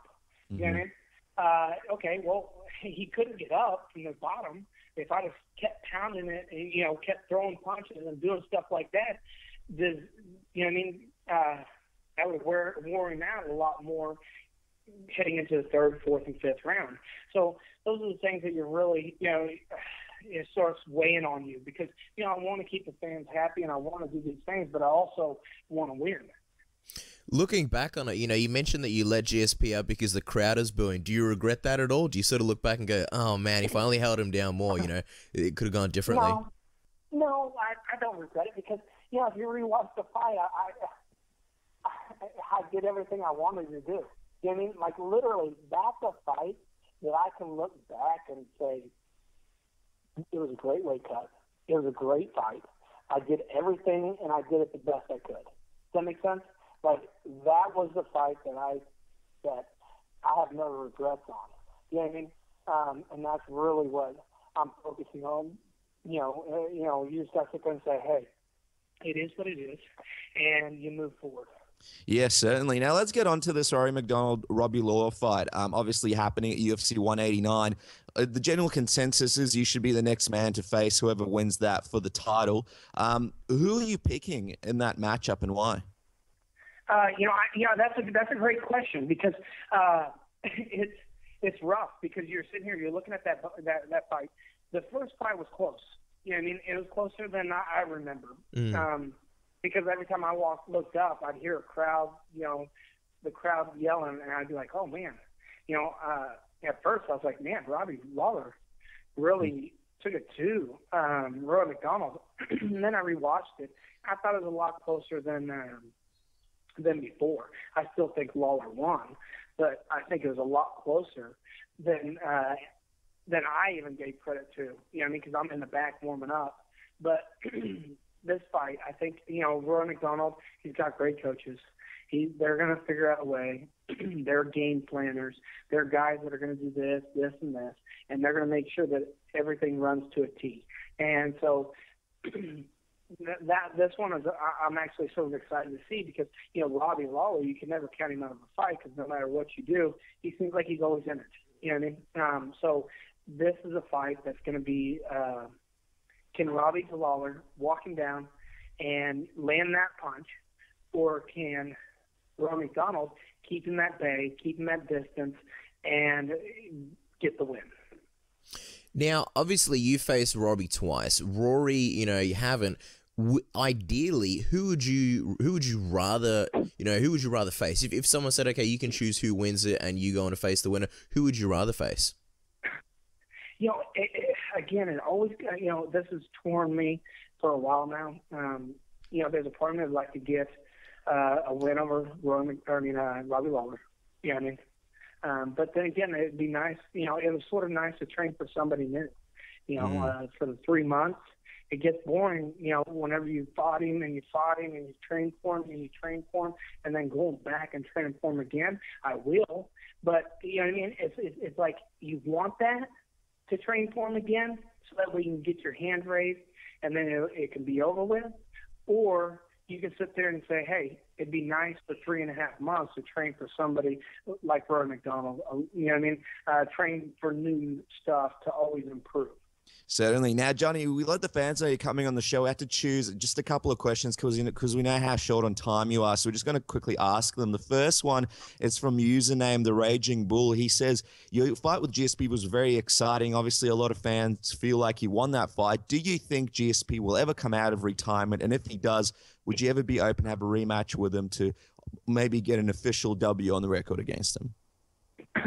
You know, uh, for for that question is that I like I tell everybody, man, he did so much for the sport. Um, he, you know, hey, there's a part of me that sits there and says, yes, I'd love to have him back because I would like to fight him again. But then there's also a part of me that you're never going to be able to take away what he did. Does that makes sense? He did a Mhm. lot of stuff for the sport and a lot of stuff for the welterweight division. So there's a part of it that says, hey, stay in retirement and and let us decide, see who the next sort of GSP will be. You know what I mean? Um, so that's where my head's at. Sure. Uh, next question is from Broadblade. Hey, Johny, how would you think a fight goes between GSP and Lawler since you fought both of them? Oh, that's a great question. I, I think GSP is going to be uh, Robbie Lawler. He's tough to take down, but I'm not really the type of guy that wants to take him down. Um, I think GSP would be able to take him down. Um, you know, I don't think GSP could get hit by him, but I think that he will be able to take him down and wear him out. You know what I mean? But then again, again, it always goes back to you, you can't ever count that guy out. He, he, I've seen it time and time again. Definitely whenever I was watching his fight, you know, studying for him, he, you're like, man, this guy's about to lose. And then my coach would be like, wait for it. And then boom, Mm. Robbie Lawler's the winner. You're going, oh, you know what I mean? So uh, that's the thing is whenever you know you have that one punch knockout power, you're always in the fight. Doesn't matter if it's the first round or the fifth round. Uh, you just can't count a guy out with power. And just as a quick follow up, you know, having fought both of them, who would you say was tougher? Who was the tougher test? you know, okay. GSP was a tough test because he's a guy, like I said, he's a guy that's always going to be sticking to doing, uh, he's a game planner. You know what I mean? And you got to break that game plan every second of every round. You know what I mean? Lawler's the type of guy that doesn't really care. He's going to be the guy that's going to try to just constantly close the distance and get in your face. You know what I mean? So they both have their challenges. You know what I mean? The thing with Robbie Lawler is that he has that one punch knockout power. So that was a little bit dangerous, and it's always a little bit dangerous to take somebody who has power. But you can also get beat up on the ground with elbows and everything else just as bad, but Lawler could finish it one punch. Yeah, great, great points there, Johny. Now we're going to quickly do this thing to finish off the interview with you. We call the submission radio tap out round. It's basically a bunch of fun questions, a little bit like word association. You sort of just answer with the first words that come to your mind. Okay, are you ready? Yep. Okay, you're at Big Rig Steakhouse. The waitress asks Johny Hendricks, "What will you ha- What will you have? Give us the Hendricks signature meal when you're not in training camp." Uh, let's see here. Uh, New York strip with baked potato, corn, and a salad. Fantastic. Uh, Johny, you know, you live in Texas, and we've always wanted to understand something, uh, you know, to do with your great state. How come all of George Strait's exes live in Texas and he has to hang his hat in Tennessee? It just seems unfair to us. okay, because one thing about Texas women is they they're they're a little bit tougher, a little bit rougher than most other places. now, Johny, when you were champion, you obviously made the point of not letting people take photos with your belt because you made the valid point of how much hard work went in to actually get the belt. Do you think it was disrespectful for Conor McGregor to rip the belt away from McGregor? I mean, from uh, Jose Aldo during the press conference in Dublin. Do you think the champ deserves more respect? Uh, yes, I do. Um, now, if Aldo said, "Hey, you want to hold my belt," and he took it that way, yes. But you know, rip it from a rip it from somebody who earned it is um, yes. I, that, that's where that's where I you know I like uh, McGregor, but that's where I had to say, "Hey, that's not you know what I mean," because I understand he's doing it for publicity or whatever he's doing it for, but you know, hey get it, then you can do it. Does that make sense? But until it's actually wrapped around your waist, um, that, that's where I'm just like, hey, you know what I mean? Cross the line. Sure. You know, quick question about your truck, the Ford F650. You must have had at least a couple of funny stories about trying to park that thing when you drive around in it. You know, can you share one of those with us? yeah. Uh, so, for example, people with lifted trucks, they'll, they'll drive next to you and they're like, dude, I love your truck. You know what I mean? So mm-hmm. what I do is I'll actually like lean down, like you can see perfectly fine in like somebody who has a really high lifted truck. You can see perfectly fine in it, but sometimes I'll like lean down and act like I can barely look inside their truck, you know, because of the hood or their the top of their truck. Yeah. So look, I'll look down and I'll be like, Oh, thanks, man you know, and they just like they look at me like, Why'd you do that? You know, uh also I have a big air horn on there. So when we first got it, uh, they were like, "Let's hear what the horn sounds like." And there was actually a UFC uh, guy there, and he had the microphone right under, like almost about five foot away from where my air horn is. Oh my god. And I was like sitting there, I honked the horn. I was like, man, that can't be it. I saw a button with a horn. Man, I hit that. There's about 30 people there. They all jumped. And that guy, like, he jumped and he was like, oh my gosh, my, because he had a microphone and uh, those headbuds on. Oh, he was, it hurt him. I was like, I'm so sorry. Yeah. Spe- uh, speaking of the truck, Johny, would you ever consider entering one of the UFC fights to music from Batman: The Dark Knight and just driving the truck to the octagon? Or do you think the arena would need to be restructured to even fit that thing in? Yeah, you, yeah, you couldn't drive that. That th- some of those turns, I would literally have to turn, back up, turn, back up, then drive. It might take me 30 minutes to get it to, to the uh, to the cage. Johny, uh, one second last question. Give us the number one TV show you can't stop watching lately.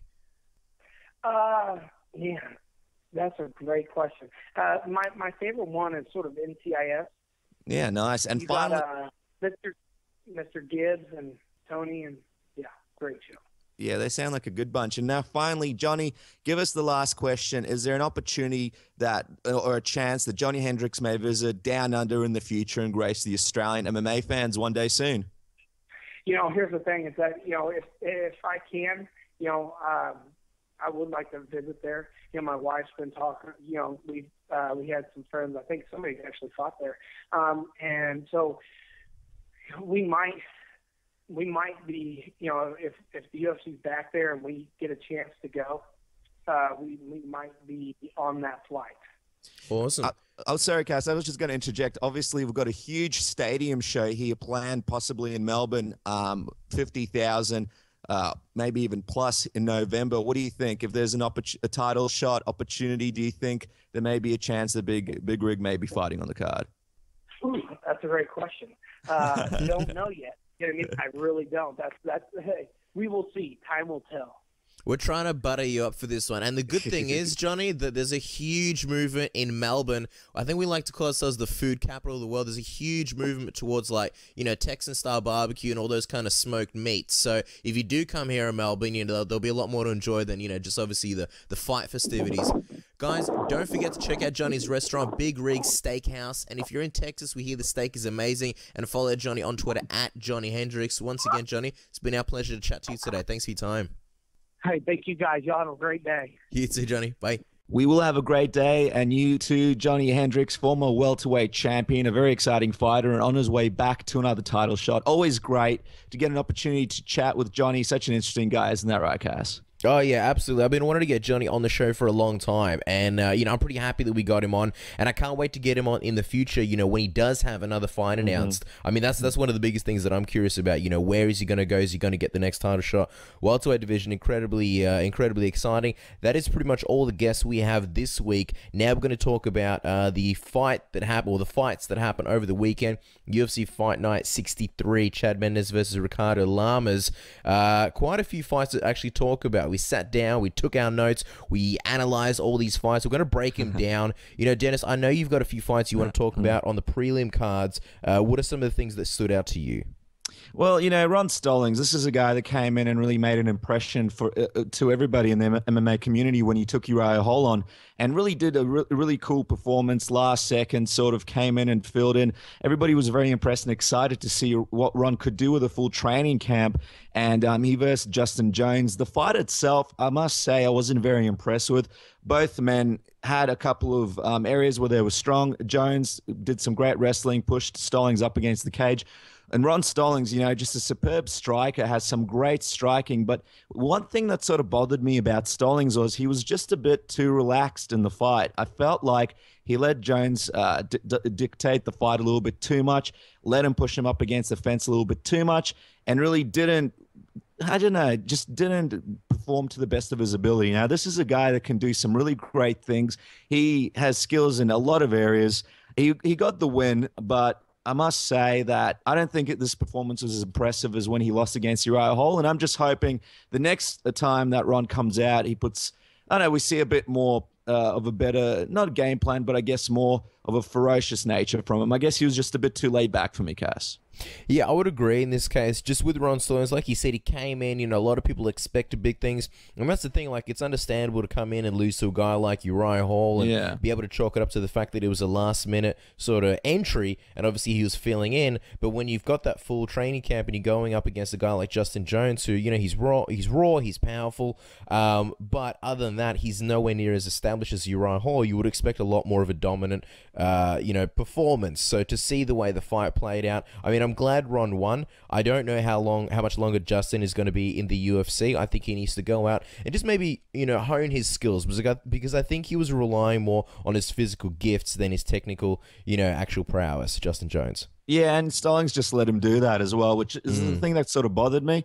And it was a very, very close decision, in my opinion. I think the fight really could have gone e- um, either way in certain points. So just want to see Ron kind of go in there and really go towards his strengths. He's got a lot of great strengths. And I mean, in the first round, Ron Stallings had some great combos. And I thought, hey, well, he's going to finish. And then I understood, okay, he's going to move back. He's not going to waste his uh, energy. But I just think he just let Jones dictate the fight too much and push him up against that fence. I just didn't see him try and get off that fan, fence and really go towards his strength, which is his incredible striking. So, yeah, it was it, wa- it wasn't a dis- completely disappointing performance, but I think that Ron needs to be on a different level in his next fight if he wants to compete with the best of the best in the division. You know, I feel like some of the prelims that we've had recently have been a lot better. We've been treated to some really good cards, really good prelims, and overall, you know, I think it was a great night. I don't think we got as much from the prelims. You know, there was a few matchups that I was really excited to see, just basically based on the outcome. Alexander Yakovlev versus Gray Maynard. You know, Alexander's a guy that, you know, I'm really excited to see what he can do in the lightweight division. And Gray Maynard, obviously a pioneer of the lightweight division coming off of the Ultimate Fighter season five. Really one of those guys that a few years ago was just a real staple of the lightweight division. Obviously, fought for the title numerous times, and around that time when he did fight Frankie Edgar, you know, he was the man. He was like the general consensus number two, and the game has just really, really, really evolved, and I believe moved past Gray Maynard and. I don't think it's so much really his skills that have, uh, you know, declined. I mean, I think his wrestling isn't where it used to be. I think his striking has improved, but I think just physically, Gray Maynard, you know, he just he can't seem to take those shots as much as he used to. Uh, Yakovlev cracked him with a good straight, but I think the Gray Maynard of old of old would have been able to eat those shots a lot better than he did in this fight. And even the Yakovlev is, is a skilled guy. I really thought that Gray Maynard would be able to out wrestle him and really get the better of him, and he didn't. You know, it's it's one thing to lose to, to top guys for Gray Maynard, and you know even get knocked out by Ross Pearson. I think Ross Pearson has the skills to knock out anybody in the division on a good night. You know, and the same with Nate Diaz. I mean, Nate Diaz is fantastic boxing, some of the best in the, in the division. TJ mm-hmm. Grant, even even TJ Grant, you know, he's a guy who was originally going to fight for the title, but when you're losing against guys like an Alexander Yakovlev, a relatively unknown, you know, on the prelims and not even in the main event of the prelims, you know, I, I'll be honest with you, I like Gray Maynard, and I, I really do feel bad for him because I'm I'm kind of at the point where I think he should retire, and I don't know what else he's going to do as a career. I really hope that he has something backed up. You know what I'm saying? Yeah, and as I was watching the fight cast, I had the same feelings where this guy was, you know, the best of the best in the division at one point, and we all looked at him and sort of a lot of uh, MMA fighters and a lot of uh, MMA fans sort of aspired to be like this guy. You know, everybody thought he was going to be a champion, and now, you know, four fights down the line, or quite a few fights down the line, at 35 years old, and he's in a four loss, uh, four loss streak, and he's on the prelims losing to a guy like Alexander, who, like you mentioned, Alexander, tough guy, but not up to the caliber of the fighter that he, fighters that he used to fight. A couple of things stood out for Gray for me because I thought this has been sort of his best performance in the last four fights that he's had. Yep. Last three obviously were stoppages. Thought his head movement was leaps and bounds better. His boxing looked a bit better to me as well. Before when he moved his head, it was just too obvious. His head was too off center, and people could capitalize on that. Um, like you mentioned, his wrestling didn't look very good at all. Uh, Alexander was actually able to take him down a bunch of times. But even with Alexander's performance, I thought there were areas that he could have been a lot better in, mainly his reach. He has a lot of reach and he just does not use it well. I think if he wants to compete with the others in lightweight and use that reach effectively, he's going to have to work on it in, in it with his striking because basically he just lets guys get close to him and land their strikes. You know, Gray landed a few decent combinations, which was good. It's it's a tough one. The guy's 35 years old, four losses in a row. We'll see what he chooses to do from here. I think it may be a similar uh, situation to Josh Koscheck, where Dana White's just going to let him fight as much as he wants, but at the same time, it's just difficult to watch him in these predicaments. Yeah, and you want to look at statistics. I mean, the last actual time that Gray Maynard has won was against Clay Guida, and that was in 2012, and that was one of the worst fights ever witnessed. Almost nothing happened in that fight. So, and then he lost to Frankie Edgar prior to that. He had a draw before that to again to Frankie Edgar, and then previously he beat Kenny Florian. In to be honest with you, not really that much of an exciting fight. That was UFC 118 in 2010. So it's not looking that great for Gray Maynard. I really hope the things pick up, but I just don't know how. If you're losing to guys like Alexander Yakovlev, I mean, where where do you go from here? Like, does he take another step down and go even lower on the prelims? I mean, I think that's just it's it's a bit sad. It's a bit mm. tough for a guy like Gray Maynard, who at one point was fighting for titles and at one point was basically undefeated in the division. You know, until he ran into Frankie Edgar, and even then it was a draw. So you know, really hard times for for Gray Maynard. Mm. With Yakovlev, I think that he can really, if he fixes his striking and if he works on using his reach, which is a lot harder than people think. I mean, we've spoken to uh, Coach Winkeljohn uh, talking about Jon Jones and the way he uses his reach and how a lot of other guys don't, like Stefan Struve and Kendall yeah. Grove and just a, a, lot of guys, you know, George Roop. And uh, Mike Winkeljohn was saying it's actually really, really hard to be that good and to use your reach as well as Jon Jones, which is another reason why Jon Jones is a phenom. But I think if Alexander Yakovlev can at least, you know, get a really good jab going and keep guys like Gray Maynard and everyone else in the division at bay, I think he's going to be a real threat because that dude is six three and that is big for the division. Yeah, certainly. And, you know, let's not overstate the fact that he's a great grappler. His ta- mm. uh, takedown defense is very, very good for a guy that tall. He uses his leverage beautifully. You know, it looks like he's got a lot of great throws on him as well. So he, he definitely looks like someone that could make an impact in the lightweight division. It's just that Gray, even though he did a good job, still didn't look very impressive. And even though Alex beat him, and it's still a huge deal to beat Gray Maynard, it still doesn't really prove anything just yet. So I'm interested to see what happens next and who they match him up with next. Now, Liz Carmouche versus Lauren Murphy, you know, there's a bit of controversy in that fight. I think a lot of people think that Lauren Murphy deserved the nod. Uh, it really wasn't an exciting fight at all, which isn't good because Liz Carmouche has had a few of those. You know, I know you had a few things to say about this one, Dennis. Yeah, you know, exactly what you mentioned. It was a very, very close fight, and Liz, Liz won the very, very close decision. I just think she needs to have a look at her fight style and what she's done in the octagon lately and maybe focus on some of the issues that she's had. She's had, she did lose her last two fights, and I'd like to see some improvements in her skill set. Obviously, she loves to wrestle. But we just haven't seen Liz really captivate and amaze people since she did have that fight with Ronda Rousey where she almost got that rear naked on her. I think that Liz needs to be a bit more careful and not just rely on her wrestling. I think her striking needs to improve. If she wants to have a lengthy career in the octagon, I think she needs to improve other areas of her game. I think it was a very, very close fight, and I, I wouldn't blink an eye if they, you know, called it the other way. I just, I don't know. Liz Carmouche just hasn't impressed me as of late. Her fights haven't been that great to watch. And even though she won this one, she needs to go back to the drawing board and reevaluate everything, in my opinion. You pretty much summed it up perfectly. I mean the the area and the window for one-dimensional fighters in the UFC it's closing more and more I'd say by the month you know in a few years mm-hmm. it's going to be incredibly tough for guys to you know guys and girls to be one-dimensional I think you know obviously Liz Carmouche's strengths do lie on the ground but she just needs to work on that striking and other areas and you know not so much clinching against the cage and things like that Let's talk about the main card. I want to start with the first fight Dustin Poirier versus Carlos Diego Ferreira. I hope I'm pronouncing that right. Um, this was Dustin's obviously return to the lightweight division. He's been very, very successful in the featherweight division. I th- honestly think that that fight against Conor McGregor took a lot of steam out of Dustin. Mm-hmm. You know, I think heading into that fight, people were talking about him really being back, you know, since he had that other setback against the Korean Zombie, you know, he looked really good. He was on fire.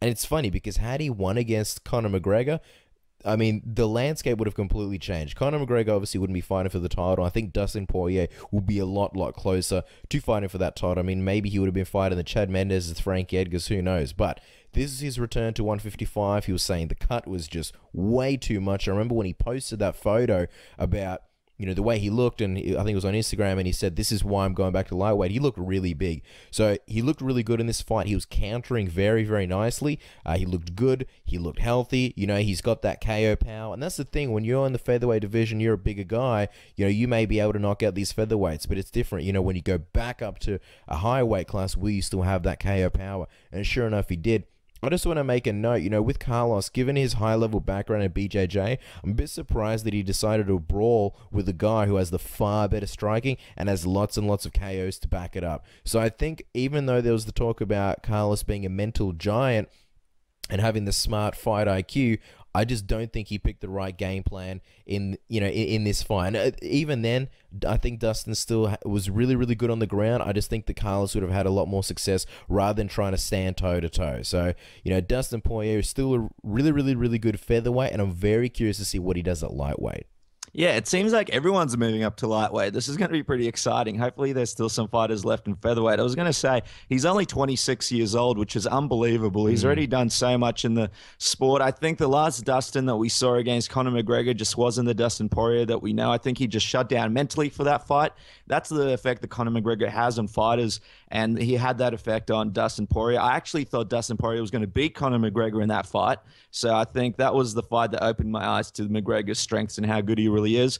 Um, very excited to see what he can do in the division. He's going to be on the New Orleans card, which is going to be exciting. Wonder who they match him up with. I think the UFC is behind this guy, and I mean, the lightweight division is just is just stacked. There's so much happening. There's so much going on. Conor McGregor obviously wants to go up there as well. All these people want to go up there. We'll have a chat about Clay Guida soon. He wants to go up there, so it's going to be exciting how it all plays out. Yeah, the lightweight division is like Metro PCS. Everybody's moving to the lightweight division, and I just want to make an analogy. You know, let's let's use wrestling as an analogy, and I hope to, you know I hope not too many of our MMA fans and listeners are rolling their eyes, but I feel like Conor McGregor is almost like the Undertaker at WrestleMania. You know, everybody would challenge the Undertaker and say they were going to beat him, and then they, the way they'd write the, the you know the scripts and stuff like that was that the the Undertaker would get into the his opponent's minds, and I feel like that's what Conor McGregor does. Is the Conor McGregor effect. He gets people so riled up and pissed off and really gets in their minds. And I think that's kind of what happened, you know, with Dustin Poirier. Even though he said that he wasn't going to, and, you know, same with Dennis I think a lot of emotions go into that. But yeah. With, oh, yeah. With, with Dustin Poirier, I mean, that dude is an absolute beast. Super, super excited to see what he does in lightweight. Yeah, that's it. Stop rolling your eyes at us, people. We'll stop talking about the Undertaker already. So, by the way, the Undertaker did make a comeback at WrestleMania. So, and he he he's still able to move around. I mean, he looked incredibly old, but he was still able to move around. So good on the Undertaker for keeping his streak alive. I like that he's he's able to move around. yeah, that's it. It's a bonus. let's let's talk about Clay Guida versus Robbie Peralta, another guy that says that he he's possibly moving a lightweight. You know, Clay Guida, Robbie Peralta. You know, Robbie is one of those guys. I mean, he's not a standout at featherweight, but he's mm-hmm. he's sturdy. You know, he's a good sturdy fighter. I just think that Robbie, he, I think he's he's a young guy. He's another young guy. He didn't have an answer for getting off the cage against Clay. You know, Clay was very focused on grinding out a victory in this one. He almost had a nice arm triangle. I love, love, love arm triangles. I don't know what it is. I think you know when I used to roll, you know, in jiu-jitsu, which is not not really all that much, but I always like the arm triangle, so I'm happy to see when guys get it or at least go for it. In between rounds, though, I will say Robbie's corner, he, they told him he had to win the third round, and I really disagree with that kind of advice. He didn't need to win the third round, he needed a finish. In my opinion, he was clearly down the first and the second, and he really needed to finish. Uh, I'm curious what you have to say about that, Dennis, because I know how you get on, on the asses of cornermen who seemingly don't say the right thing. And uh, the other thing that I take from that fight, his Clay Guida's post-fight promo, to me, was a lot of a lot of incomplete thoughts and a little bit random. I mean, there was Obama thrown in there, there was Rafael dos Anjos, and okay, that to me was probably the part that made the most sense. He mentioned that you know he gave him that jaw injury. I still don't understand that happened, how that happened. I remember watching at UFC 117, thinking it was very random. I don't know how that jaw injury happened. Possibly Clay Guida throwing shoulders from the guard. Um, and you know he mentioned how he beat Anthony Pettis and Rafael dos Anjos. At this point, I don't see Clay Guida being beating Rafael dos Anjos or even it being competitive. But the other thing that to me was strange was after he sort of made this call out and was building a case, he finished off with, "I know what I did was not impressive." Which to me was like, I don't know why you just said that. Like, I think most people were thinking it. It wasn't like, oh my god, that was a crazy fight. I want to watch ten more just like it. It was it was a new school Clay Guida performance that he's done over the last few years. He's not the Energizer Bunny anymore. You know, he sort of grinds out these these victories. The third round to me was probably the best round of, of, of the fight. But then to say that it wasn't really impressive, I mean, I, I, I don't know which way he was going with that. Yeah, you get that, and that's I guess that's just the big difference between MMA fighters and these pro wrestlers or guys like Floyd Mayweather. They're, they're just trying to get some stuff out and they don't portray it the right way. Yeah, I don't know. With the corner cast, I agree with you. They really should have been a lot clearer to Robbie. Robbie's a bit like one of those old sweaters that you have in the uh, that you have at home. Always good to wear when it's uh, cold. Always dependable, but you're not going to wear it out, are you? When you have a nice occasion. So he is. He always delivers. He was out there and he was throwing his strikes strikes, but not the smartest game plan against a guy like Clay Guida, which, let's face it, really got that takedown at will for most of the fight. Um, Clay, what I found is interesting was that Clay Guida actually trained with Team Alpha Male and Edmond Tarverdyan mm. for this one, which shows me, and I mean, this is what I've been saying to a lot of these uh, MMA fighters when we talk about them is this is this is what you got to do. You got to switch up your camps. You got to focus on your weaknesses. And I really think Clay looked a lot better in this fight with his head movement because usually he does that uh, mosh pit mosh pit defense or that mosh pit offense, whatever you want to call it, where he's just jumping from side to side like a crazy caveman, waiting for Slipknot to hit the part of their song where everybody does the death mosh. And now he had some nice head movement. He wasn't too off center when he was moving his head, wasn't as predictable, and he had some nice striking. And I mean, I thought it was really funny. I actually got a good laugh out of seeing Edmond work with him, work with him, because I know Edmond was on our show a couple of weeks back, but I know Edmond's a very sort of classical striking guy, loves mm. his sort of straight boxing.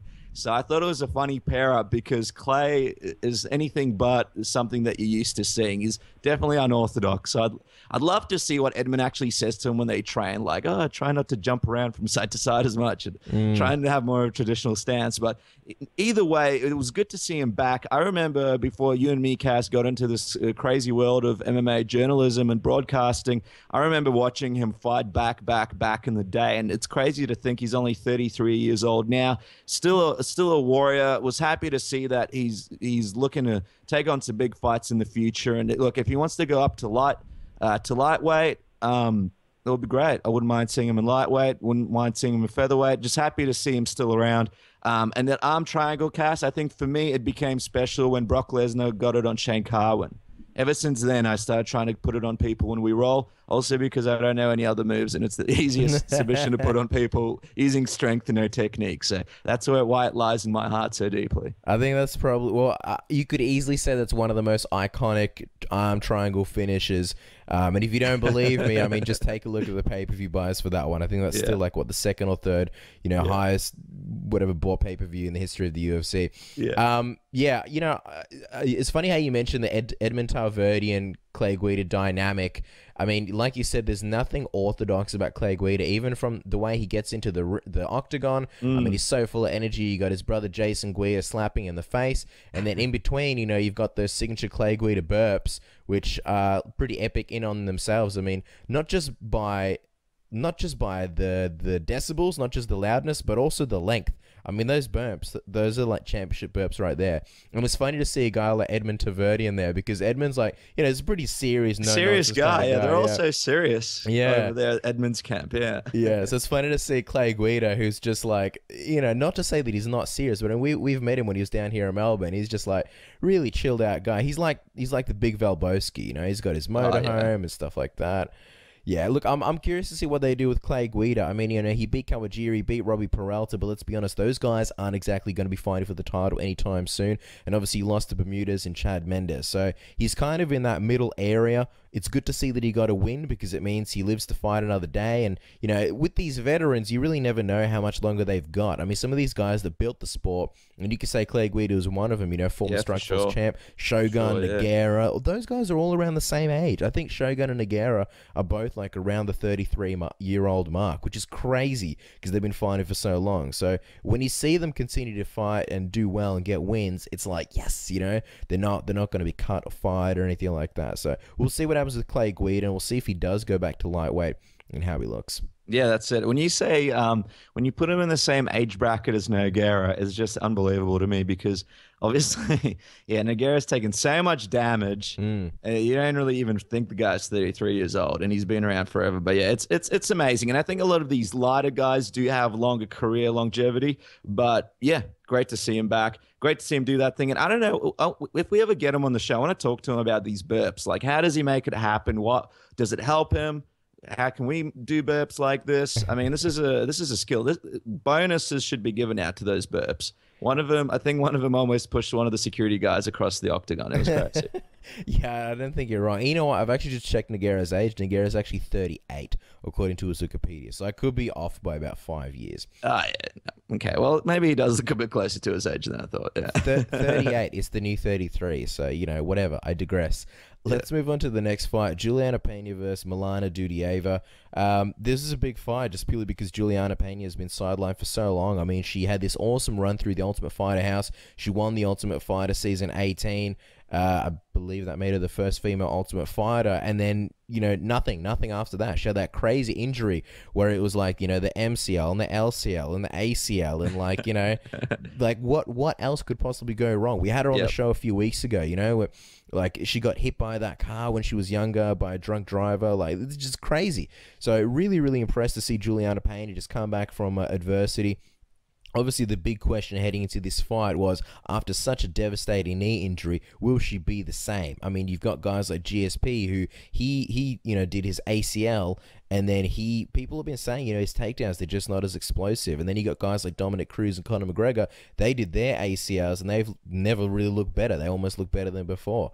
Um, just my few sort of points on the fight. You know, Juliana she came out very very aggressive. I can't believe she managed to avoid getting taken down by the Sambo expert Dudieva. I didn't really understand what happened until I saw the slow motion replay. You know, she was basically horizontal in the air, but she put her leg down so that instead of like most people falling on her side, she actually had that leg to stand on. So I was incredibly impressed with her flexibility and the fact that she managed to actually stand up. Uh, Milana, you know, obviously being a Sambo expert, she hit a really nice throw on Jul- judo throw on Juliana, uh, but she looked a little bit lost on the ground. You know, Juliana, she got on top. Uh, she started throwing ground and pound. Uh, you know, I'm really happy that she got the win and uh, she looked good. The one thing I will say, with her ground and pound, a lot of it hit Dudieva's arms and not her face. I think her ground and pound was a little bit sort of rudimental. It wasn't that killer ground and pound who, I don't know, let's use the Chute Boxe team as an example. When you think of Chute Boxe, you think of savages. You know, when you think of, uh, you know, savages, you think of Cris Cyborg and Wanderlei Silva and people like that. This is more the ground and pound where it's sort of like, you know, your coach is telling you you've got a minute left, don't gas yourself out, you know, get these shots in and win points. So that's just the one thing. It didn't look like that killer instinct ground and pound, and a lot of it, a lot of it, a lot of it was hitting Dudieva's arms. Dudieva, I mean, she was trying to hit Juliana Pena from the ground. I don't know why she was doing that. I mean, given her background as Sambo, you would think that Dudieva would have some, you know, Mm-hmm. either if not cool sweeps, then she would at least go for some sweeps. I mean, you know, maybe try and uh, maybe try and buck her off, do it, do a whole bunch of things. But the way she was just looking to hit her to me just looks strange. I mean, she could have just as much gotten armbarred, if not, you know, getting getting pounded out. So big win for Juliana Pena. Very interesting to see what she does next. What were your thoughts, Dennis? Yeah, I think about Pena, I just think she's a bit of a she's just an asset to the UFC. I think she's great for the division. She just goes out there and she goes for it, man. And I really dig that about her. I mean, her striking, let's face it, it's not the most advanced striking, but it's effective and she does it well and she breaks down a lot of distance and lands those punches. Um very, very, very, very impressed that she was able to make a comeback like that after injury. And exactly the same as you, Cass, just absolutely gobsmacked that Milana, this this amazing sambo grappler, didn't know what the hell she was doing when she was mounted. I mean, trying to punch someone in the face off the bottom is just noob city central and even a white belt in Brazilian Jiu Jitsu knows at least a couple of escapes, like you mentioned, Cass, the bridge, the the hip escape, and you didn't see any of that from Milana. At one point, she did try and grab her and uh, pull her down, but you just didn't see enough of that. And it's just something you do not do in MMA. And she's just lucky she wasn't in a high weight class because she'd be just knocked unconscious. Obviously, like you mentioned, Pena's. Uh, uh, ground and pound from Mount wasn't the most effective. It sort of looked like Brock Lesnar's when he did those little sort of uh, Rabbit punches. rabbit punches. That's right. But because she wasn't 265 plus pounds, didn't exactly do as much damage. But nevertheless, Pena Pena's just this chick with an amazing mental game. She come in, comes in there like a robot. She's recently spoken about Ronda Rousey, how she she looks forward to that matchup, how she you know she's not afraid of anyone in the division. I really think this is someone the UFC is going to get behind, and just yeah, very very impressed with her mental tenacity to get back in there. Very excited who they put her with next. And I wouldn't rush her. I wouldn't put her up against some, uh, some kind of killer straight away. Give her another sort of Milana. Let her have another few wins. And I think she's someone that will really either get a fan base behind her or have people sort of against her because she is a very she's a very strong woman, and a lot of people don't like that. A lot of the time, a lot of people get a little bit annoyed when somebody has so much self belief, but nevertheless, I think she elicits a response from fans. So definitely happy for Pena and good stuff to her. Yeah, and I mean, you talk about that mental belief in herself and self confidence. She said that if she wasn't on the sidelines for so long, she'd probably be champ. Yeah. So that's Yeah, that's, that's a big one. That's like inadvertent shots fired. I'm not exactly expecting Ronda Rousey to, you know, roll off the couch with disbelief in, in such statements, but you know, it's exciting to see someone believe in herself that much. And uh, yeah, she like you said, she's a great asset to the division. Yeah, and that's what everyone has to do. I mean, I hate it when there's there's UFC fighters that just ad- admitted to themselves the fact that hey, I'm just going to do this as a job and just be a gatekeeper. I think everybody wants to should have that belief that if I go up- against the chance I, the champ, I could beat them. Look, there's no doubt about it. Right now, I've, I've seen some threads online. People go, who would win between uh, Pena and Ronda Rousey? I think right now, obviously, Ronda Rousey would just steamroll Pena. She just destroy flatten her straight like uh, one of those trucks mowing through the backyard through a fence, like Bad Boys 2 when they go through that village in the Hummer and just go through every house. But I think that if Pena picks up some important skills, that maybe she would she would put up a good fight against Rousey. And the main thing is she's got that mental belief in herself, something none of the girls that have fought Ronda Rousey have had just yet, and that's why they've crumbled in the first round. Love love this, love the rivalry. It's great to see that Rousey might have another another competitor in the future. And if I'm Ronda Rousey, I think I actually respect Pena for being like that because that's very much the mentality that Ronda Rousey has herself. And that's the, the work ethic that she has. So that's what it takes to be a champion. Everyone should have that mentality. No one should be like, I just want to open a card and make $30,000 a couple of times a year. Everyone should want to be a champ, in my opinion. Let's talk about the next fight: Michael Chiesa versus Mitch Clark. I mean, this is this is an awesome fight. Two guys, really tough, really gritty. I think a lot of their skills are very raw. I'm just gonna sort of go through some of my observations. You know, Michael put on the pressure from the very, very start. He really got in there. Uh, Mitch, he didn't really get going in the first round. I don't think Mitch really got going until the third round actually. Uh, you know, Michael hit some, you know, Chiesa hit some really nice takedowns in both round one and round two. Uh, really good trips. I really liked it. I love, I, I don't know, to me, I love seeing trips more than I like seeing takedowns. For me, I guess it's just more exciting. You know, who doesn't love to see, you know, a nice judo throw, people flying through the air? Um, and I think just given my tiny, tiny Sambo background, that's just, I guess, my sort of preference. Uh, you know, Mitch stayed very, very defensive, but he did a really nice job of countering and getting off his back. So even though he did get taken down, you know, the commentators were saying that Michael Chiesa had this belief that Mitch would be content to stay on the ground and not get off his back. Well, he did the exact opposite. I will say Michael had really nice elbows from the back to Mitch's face. Um, it was hard not to really catch that. I mean, he had his back, he's got these long arms, and he's got these like looping, looping elbows that came from the back straight to Mitch's face. If you had short T Rex little arms, you wouldn't be able to do that. But I, th- you know, I love when guys use their physical assets to you know to their advantages because that's the thing with mixed martial arts you can learn a lot of traditional techniques and things like that i think that's what's good about jon jones is that he does he uses his body to his advantage. There are certain moves you just can't do if you have long arms or if you have short legs or if you're you know tall or whatever the case is. So it's good to see michael using things like that. I almost felt like in this fight he he had so many diverse attacks, especially on the feet. It's almost like he did training camp, he learned a bunch of things, and he's like, I'm gonna use every single one of them in this fight. I think some of them he didn't really use them at the right time, but I still was inspired, and I like the fact that he's just like, I'm gonna use every single new move, every single strike, every elbow, knee, kick, everything that you know I basically learned. Um, now, third one, third round, Mitchell was using a lot of lateral movement uh, in his striking. It was completely different. I think you know Chase's striking was looking really rough by the third. He was looking really raw. He's still getting shots in there. And I think that both guys only seem to find their time in the third round due to the previous rounds consist- consisting mostly of grappling. You know what I mean? The first couple of rounds is Mhm. really trips and throws on the ground, and then the third round is when they actually started striking. So it's kind of funny to see guys really only starting to get their distance and get into the rhythm of things in terms of striking in the third round. But all, all in all, man, I think this was a really good fight. What did you think, Dennis? Yeah, great fight. And Michael is, is someone who's been forgotten about, I think, in the division. You know, people haven't really thought about him too much ever since he had that Lauzon fight. And he's had a couple of fights that sort of weren't the best. He looked really, really good in this fight. And Mitch is one tough SOB. I mean, he uh, when Michael had his back and had that neck crank across him a multiple amount of times, I just thought about all the painful moments I had that I've ever trained in where someone Mm. was just squeezing my neck. And obviously, Mitch is a tough, tough dude. No, you know, he'd never tap to something like that. Um, it was very, very impressed. I thought it was a very exciting fight. The match was put together well, and it's a great start for Michael for 2015 to sort of kick off his campaign and remind everybody why he thinks he, you know, will be the champion in the division.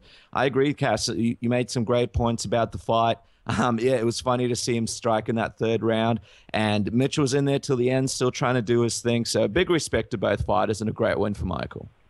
Let's talk about the next fight: Al Iaquinta versus Jorge Masvidal. This is this is by far the most controversial fight of mm. the night. Um, just a few things that I took away from it. You know, Masvidal. He, I'm, was surprised he didn't capitalize in the early goings of the Yeah. opening round. You know, Al Iaquinta is notoriously a slow starter. Having said that, Masvidal, being the veteran that he is and being there with you know some of the best lightweights in the world, kind of doesn't surprise me. He's basically seen it all, and you do see that with the veterans. They're not really in any kind of rush. They like to feel out their opponent. So the first round was very much a feeling out stage. Uh, you know, Al Iaquinta also looked like he was very keen to feel out Masvidal. In my opinion, Masvidal easily won the first round, even before that knockdown, even before he cut open Al Iaquinta, just purely because they're about even on strikes, but Jorge was pressing forward the whole time. So I, even before he really busted him up, I would have given Masvidal that first round. Here's here's where things get tricky, you know.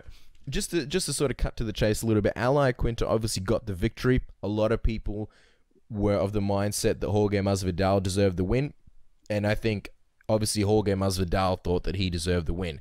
I think it's a little bit sort of murky, right? And I when I first watched the fight, I was really surprised that Al Iaquinta got the decision. I was like, wow, I really thought Jorge had that. And I think partly it was because of the, you know, dropping him and busting him open, you know, really blooding up his face. And I think that might might have sort of made me a little bit biased. But I, uh, you know, I rewatched the fight. I watched the second round. I think the second round is where it came down to because I think that Al Iaquinta won the third. Here's a few key facts. Nobody connected in the first minute of the round two. Not a single connection, right? A lot of punches were slipped in that round in general. There really weren't many big connections. Al connected with a big right. I think he had a he had a leg kick and then a big right. And Masvidal later on hit uh, Al Iaquinta with a big body kick. I think the one thing is Masvidal was coming forward in the second, but not throwing as much as Al. Uh, and it, just in general, Al never stopped going for it. So this this fight itself wasn't actually as controversial as you would have thought. I think Masvidal won the first. I think Al Iaquinta won the third, and the second one was a real, real toss up. What did you think, Dennis? Look, I think you brought up a lot of the key points, and um, I just wanted to say one of the areas that people didn't really focus on as much is just are those leg kicks that Al threw at Masvidal's leg. I mean, Masvidal did a good a good job of having a poker face, but that leg, even on TV, looked black and blue, and that would have really really started hurting him. I think as a veteran, he should have checked those leg kicks. I think that was something that he should that's something he should focus on himself. And also, I just think he was a bit too cocky in this fight. I mean, you go in, you're a veteran, and you're taking your time, but he just took it a bit too long. He took it to another level. I think that he really, like you mentioned, should have capitalized on some of the areas where he was winning and beating up Al. Um, he really let Al get back into the fight in a lot of areas. And then he was mad because he lost. Well, in the UFC, Dana White said it a million times. If you leave it in the hands of the judges, don't complain about it. This is just what happens. I think if Masvidal wanted, if if Masvidal felt like Al Iaquinta was such an easy matchup or just wasn't worthy with him standing, then he should have finished the fight. Um, otherwise, I thought Al showed a ton of heart. Um, just fighting on after getting that huge cut on his face, getting dominated in that first round in the striking department. He was still throwing those body strikes. He was still trying for his takedowns, which he didn't really get a lot of. Um, but you know, I just I just thought he showed a ton of heart, and he just kept going, even though a lot of fighters a lot of fighters in his position would have given up with Masvidal sort of laughing in their face and sort of looking like he's going to do whatever he's going to do. So at the end of the day, I think the main person Masvidal should be angry at is himself for not capitalizing more on those parts of the fight where he was winning and for not doing more in the fight. I mean, it's all well and good, and we've seen it a hundred times with guys like Alistair Overeem with his fight with Travis Browne and Bigfoot Silva and other fights. If people come in cocky and they obviously have an advantage in an area, that's all well and good. But you really have to make sure that fight is done and dusted and people see your advantages and not just throw a punch or a kick here and there. So it was i mean it's a tough one i only watched the fight once and the first time i watched it like ucas i thought that masvidal won the fight but i think you bring up some great points and i'm happy for al yeah, I think with Masvidal, that's the thing. You can come in with an obvious advantage. You know, clearly Masvidal was the better striker, but it really doesn't matter. What matters is what happens on this this one night. You don't come into the octagon with your resume. You come in as if it's if it's the only fight you fought. You know, I was super impressed by Al's tenacity. I mean, the dude never ever stopped going for it. You heard Matt Serra and Ray Longo and Corny. You know, I want you to go in there and give zero fucks. And it's really hard to go in there with such an attitude in the third round. When you've been when you're going mm. in there really trying to pour it on and you're getting countered and dropped and you know now you've got blood all over your face, it's really hard to go in there in the third round and you know just give it all basically because hey you you might lose a decision but in this case if you give it all you might get you know knocked the hell out uh, you know, he yeah. went for a crazy, crazy scissor leg takedown attempt. Swipe, yeah. that, that, was insane. Yeah.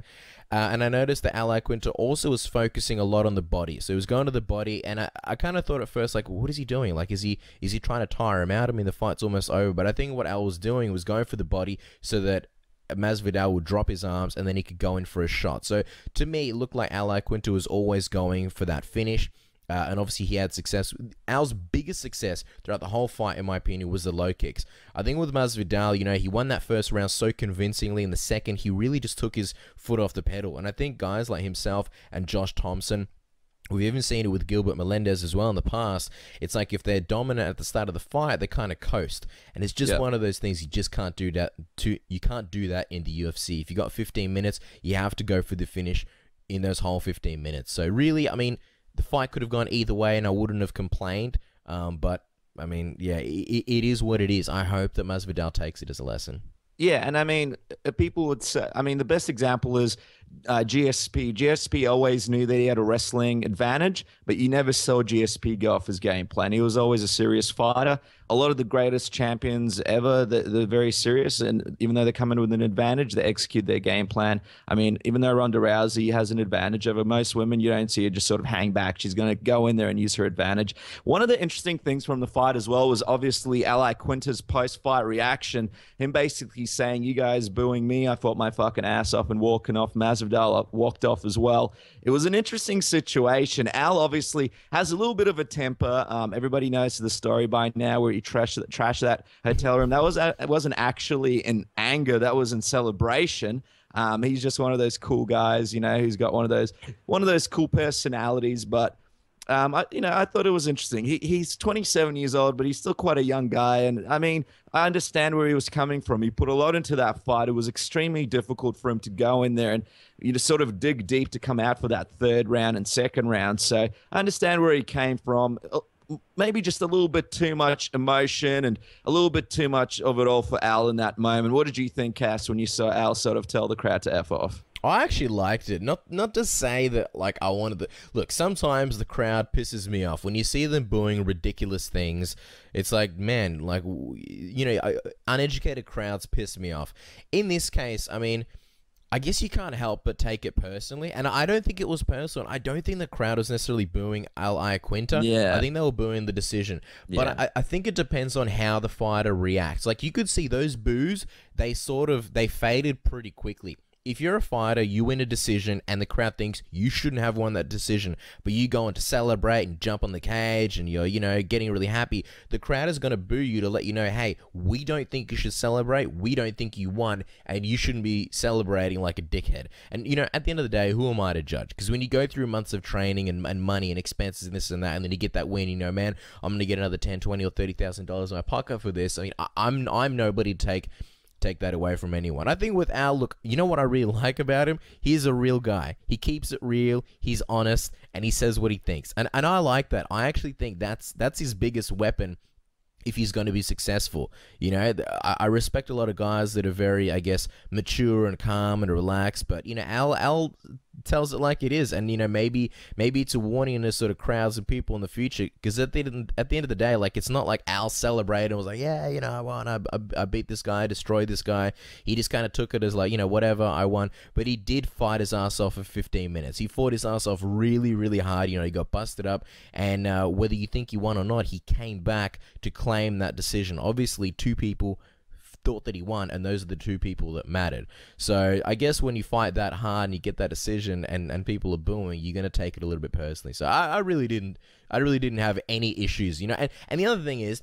Considering how much shit the fighters cop, you know, on Twitter and social media and stuff like that, I mean, I don't look. You know, PR is is only really. It, it depends what you want to achieve, and I don't think I don't think Al Iaquinta is out here to kiss babies and shake hands and you know really cares. He tells it like it is, and you're either going to like that or not. So I respect that about him. Yeah, that's it. And I mean, if you go back a few years, no, he wasn't really an outspoken fighter, and people didn't really care about him as much. And we Yeah. got to know him over there in Sydney last year a bit better, and had, you know, uh, watch him fight. And we've, we've had him on the show before, and it's good to see that he's bringing his personality out. I think the main thing is whether people like you or not or don't like you. The main thing is is that people care and give some kind of reaction. And he's definitely become one of those guys that people care about more and give more of a reaction about, and really look at him more as his own man and not just Chris Weidman's training partner or, or a guy from the Ultimate Fighter. So I, I think his stock is rising, and it's great for Al. Let's talk about the main event: Ricardo Lamas versus Chad Mendes. You know, both guys coming in looked really, really, really pumped at the start. That's the first thing I noticed. They almost looked nervous. I feel like. uh, Chad Mendes to me looked almost more pumped and nervous than when he was fighting Jose Aldo. I don't know what it was. I don't know whether it was because he knew that you know this fight could hinge on him possibly getting another shot at Aldo. Um, but yeah, I mean, th- this fight, there's not really much for me to say. It was over before it started. Ricardo did a really good job. He's obviously the much bigger fighter. You know, he's got the, I think he had like, what, five or six inch reach advantage. He did a really good job keeping the distance, you know, throwing a lot of low kicks, throwing a lot of high kicks, spin kicks. Really good at keeping the short, stocky, compact, powerful wrestler Chad Mendes at distance. In the end, Chad caught him with a big one, and then it was over, which just raises Chad Mendes's stock immensely because Jesus Christ, this guy has a lot of KO power. The one thing that stuck out to me was that punch, that overhand right that, you know, rocked Lamas really badly. It's not like it hit him on the jaw. It didn't hit him behind the ear. It hit him on, on the top of the head, almost like the forehead and the top of the head. And you don't see guys getting rocked by those kind of punches very often. So it just goes to show just how much knockout power Chad Mendes has. You know, it's an extremely impressive victory considering that Jose Aldo took Lamas to the distance and Chad Mendes did it in like 2 minutes and 50 seconds. Not only that, but, you know, Lamas, I really respect him. He was really, really trying to fight out of it. He was really trying to, you know, get his wits about him. But Chad Mendes was extremely patient. He didn't do anything stupid. He didn't gas himself out. He, you know, he didn't pounce on him straight away. He was really looking to control him. You know, when, when Lamas was going for those takedowns, Chad Mendes wasn't just about smashing his head. He was about getting into a better position. You know, I want to take I want to take his back and I want to fire off shots. And one of the shots that really sort of wrote the end of it for Ricardo Lamas thrown by Chad Mendes, to me it was very reminiscent of the shot that uh, Dan Henderson hit Fedor with to KO him. You know that iconic shot that like he had his back and boom, it was like an uppercut Yeah. straight to the jaw. Yep. And he hit Ricardo Lamas with one of those and, and got on top of him. Big Tan Dan, as they said about 60,000 ti- times, and I like that nickname, by the way. A little bit late with his stoppage was Big Tan Dan, and uh, Mendes had to take the matter in his own hands, or in this case, out of his hands. He kind of stopped and looked at him like, dude, are we done here? Like, what's going on? And, and at mm. that point, you could see Ricardo's fighting out of it up until then, and he was literally just laying there motionless. So, Yeah. Big Ten Dan, I mean, you know, come on, you, you got to get in there. You got to save these fighters. Save the fighters, man. But all in all, really, really impressed with Chad Mendes. Yeah, the nickname has definitely gone to his head, the big man. But I was going to say exactly right, Cass. Lamas is just incredibly tough, really kicked that fight off with lots of great strikes. And when Chad landed that that shot to his forehead, I mean, he tried his hardest to recover. Usually a fighter would just let it be, but he was just flying all over the ring, just trying to recover. And Chad was just hitting him very, very nicely. And that shot at the end, the one that you spoke about that ended it all, that was just a brutal shot. After he landed that f- uh, shot, I, I almost I could taste the dirt in my mouth, that taste of dirt that you get when someone hits you in the face. Um, was going to say. I'm very interested to see what's going to happen next. Obviously, um, he got posed the question, who do you want next? Uriah Faber's fighting Frankie Edgar and Aldo's fighting McGregor. And a lot of interesting fights for him, but I'm interested to find out if Faber does beat Edgar, you know, would Chad Mendes be open to fighting um, Uriah Faber? I doubt that he would, but he didn't really say that he wouldn't in that post fight speech. Um, either way, the guy's just a super athlete. He's just someone with superior genetics for the fight game. I just, I, I've heard some of the things that he can do at training. The guy is just an absolute beast. And it, it was a tough loss for Ricardo Lamas. I think it's taken him a while to get up here, and it's really taken a lot of steam away from him. Yeah. But Chad Mendes has never looked better. And even though he lost against Jose Aldo again recently, the fight was such a firecracker. I wouldn't mind seeing him fight Aldo again if Aldo is still champ down the line. So very interested. If he fought McGregor, obviously. And McGregor chose to stick around, which I'm not sure exactly what McGregor's talking about moving up a division if he becomes champion, because he'd still have to defend his belt unless he gave up his belt and moved up a division. I don't know what the UFC are going to do with him, but if uh, Conor McGregor is the champion and beats Aldo, obviously a million and 101 problems for McGregor. You know, Chad is just unbelievable, an unbelievable wrestler, and just looks better and better every time. Nevertheless. Um, just very excited to see what happens with him next. You know, what do you reckon, Cass? Uh, do you think he would fight his uh, his own teammate and good friend Uriah Faber if he beats Frankie Edgar? I think it's one of those things that only only those guys know. And look, Uriah Faber seems like he's sort of softening to the idea. And and here, here's the thing: like people kind of look at it as the answer is no because they haven't actually said yes. But the thing is, Uriah Faber and T.J. Dillashaw, they they both have sort of said, look. If, if he came up to me and said he wanted to do it and things like that. So they are kind of open to it. And the thing that both of those guys have mentioned is you know, money. I don't, I don't think these guys are like greedy by any means, but I think if Dana White was like, here's, here's, you know, here's what you guys are going to get, and kind of like with Brock Lesnar, where Vince gave him an offer he couldn't refuse, and if he said, look, this is what you guys stand to make, I mean, Sharpen the pencil. sharpen that pencil. At the end of the day, this is a business. You know, we Yeah. spoke about Gray Maynard before. Like, you know, if, if Gray Maynard retires tomorrow, I don't know how much money he's made. He, you know, he, he hasn't fought that much over the last few years, and I'd hate to find out that Gray Maynard is like, you know, needs to work another job and, and can't retire. So I think in this business, nothing is for certain. I mean, TJ Dillashaw, he's champion right now, but hey, Renan Barão's champion for a long time. You, you just never know. I mean, he might not be. So you got to make the money where it counts. And I think similar with with you know Ch- uh, Chad Mendes and Uriah Faber and all those guys. I think if Dana White really sharpened the pencil, I mean really, really like where to the point where it's just a nub. You know, it's just like just the point and then the Yeah. eraser. That's Yeah. it. Um, you know, I, th- I think that yes, they would do it. And I think if if TJ stays champ and if Chad Mendes keeps ascending and things like that, there's going to come to a point where, you know, Uriah's going to fight everyone else in the division like he pretty much has in bantamweight. And, uh, you know, the, I think one of those matchups is either going to happen. You're either going to see Uriah and Chad or Uriah and TJ. And I'd bank on Uriah and TJ first. Just one more thing I wanted to say in regards to this fight. You know, Ricardo Lamas, I don't think this takes too much steam away from him. He's still a world class guy, he's still elite. He's still competitive with pretty much the upper echelon of guys in this division.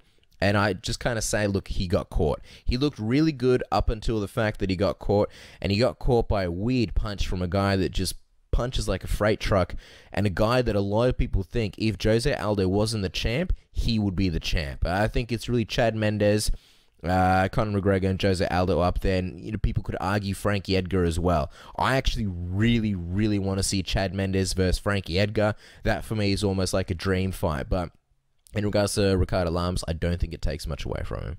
Yeah, it's going to be interesting how everybody matches up. Obviously, Dennis Bermudez is still in the division. Not many Mm. people have heard him from him since Ricardo Lamas put that beat down on him. But interesting to see what happens in the division. Nevertheless, Cass, I feel like um, let me let me sharpen my pencil. I feel like that's become a. Uh, I think I feel like this is this this should be on a T-shirt. This has become hot now. Everybody's saying it. I feel like I'm going to say it to somebody that's not in the MMA community, and they're just going to look at me strangely. Like I'm going to be at the uh, at the supermarket, and there's going to be one packet of chips left, and I'm going to go up to someone and ask them if I can sharpen my pencil, and they'll sort of look at me like a stranger danger. So, but nevertheless, um, I like the word. I'm going to use it quite a bit over the next few weeks. One day when we we break out the submission radio t-shirts, I want to have a whole bunch of phrases that don't necessarily make sense, like really esoteric references, like like Stan Smith in American Dad, like you know, can I sharpen your pencil? And people walk around these shirts like, where the hell did you get this shirt from? Um, on that note, on the on the note of pencil, on the sharp- note of the pencils, yep. I think that's it for another week. Uh, you know, I've had three big guests: Johny Hendricks, Ken Shamrock, and Melvin Guillard. Who, man, he had a lot to say. I really didn't expect that. Uh, I hope you guys enjoyed the show. Really enjoyed chatting about UFC Fight Night 63. Obviously, UFC 186 is coming up just around the corner. We'll be back same time next week. And before we do, Dennis, any final words to the fans? Yeah, guys, if you get an opportunity, jump on our YouTube page, Submission Radio AU. We've got a Technique of the Week series that is very, very interesting right now. Always interesting. We have a new technique out, how to pass into a better side control. It's with a, with a very cool guy called Tian, who we've actually worked with personally ourselves. Um, he's taught us some really cool things, and this is a very, very cool and simple side control that I'm going to be implementing in my Brazilian Jiu Jitsu game. I think you guys should check it out and do the same. And also, let us know what you thought of the UFC Fight Night Fairfax. Do you think that Masvidal deserved that win? Give us your general opinions on everything that you heard on the show today. And if you have any questions or any comments, submission AUS at submission AUS on Twitter. Make sure to give us a shout. And we always, always, always love chatting to the listeners. That's a great point. Yeah, we've been we've been talking a lot to our fans on uh, YouTube. I think leading up into the show, I had a few names that I wanted to point out and sort of mention. I have forgotten them since, but there's there there well there, there there's a lot of them, uh, and I don't want to alienate anyone either. But there's there's a lot of guys that we chat to on YouTube, and we really thoroughly enjoy it. If you think, hey, maybe that's me, yeah, it probably is you because we you know it is Dennis and myself talking to the to you guys on YouTube. So definitely keep that coming. And yes, as you mentioned the decision, the uh, Al Iaquinta Jorge Masvidal decision. That's what I want to hear about. I want to hear your thoughts, guys. Let us know if you thought, you know, it was the right way or the wrong way. And also let us know, do you think this loss does much for Ricardo Lamas? Do you think he's going back down in the division or do you think he can he can come back? Uh, till then, guys, we'll be back next week.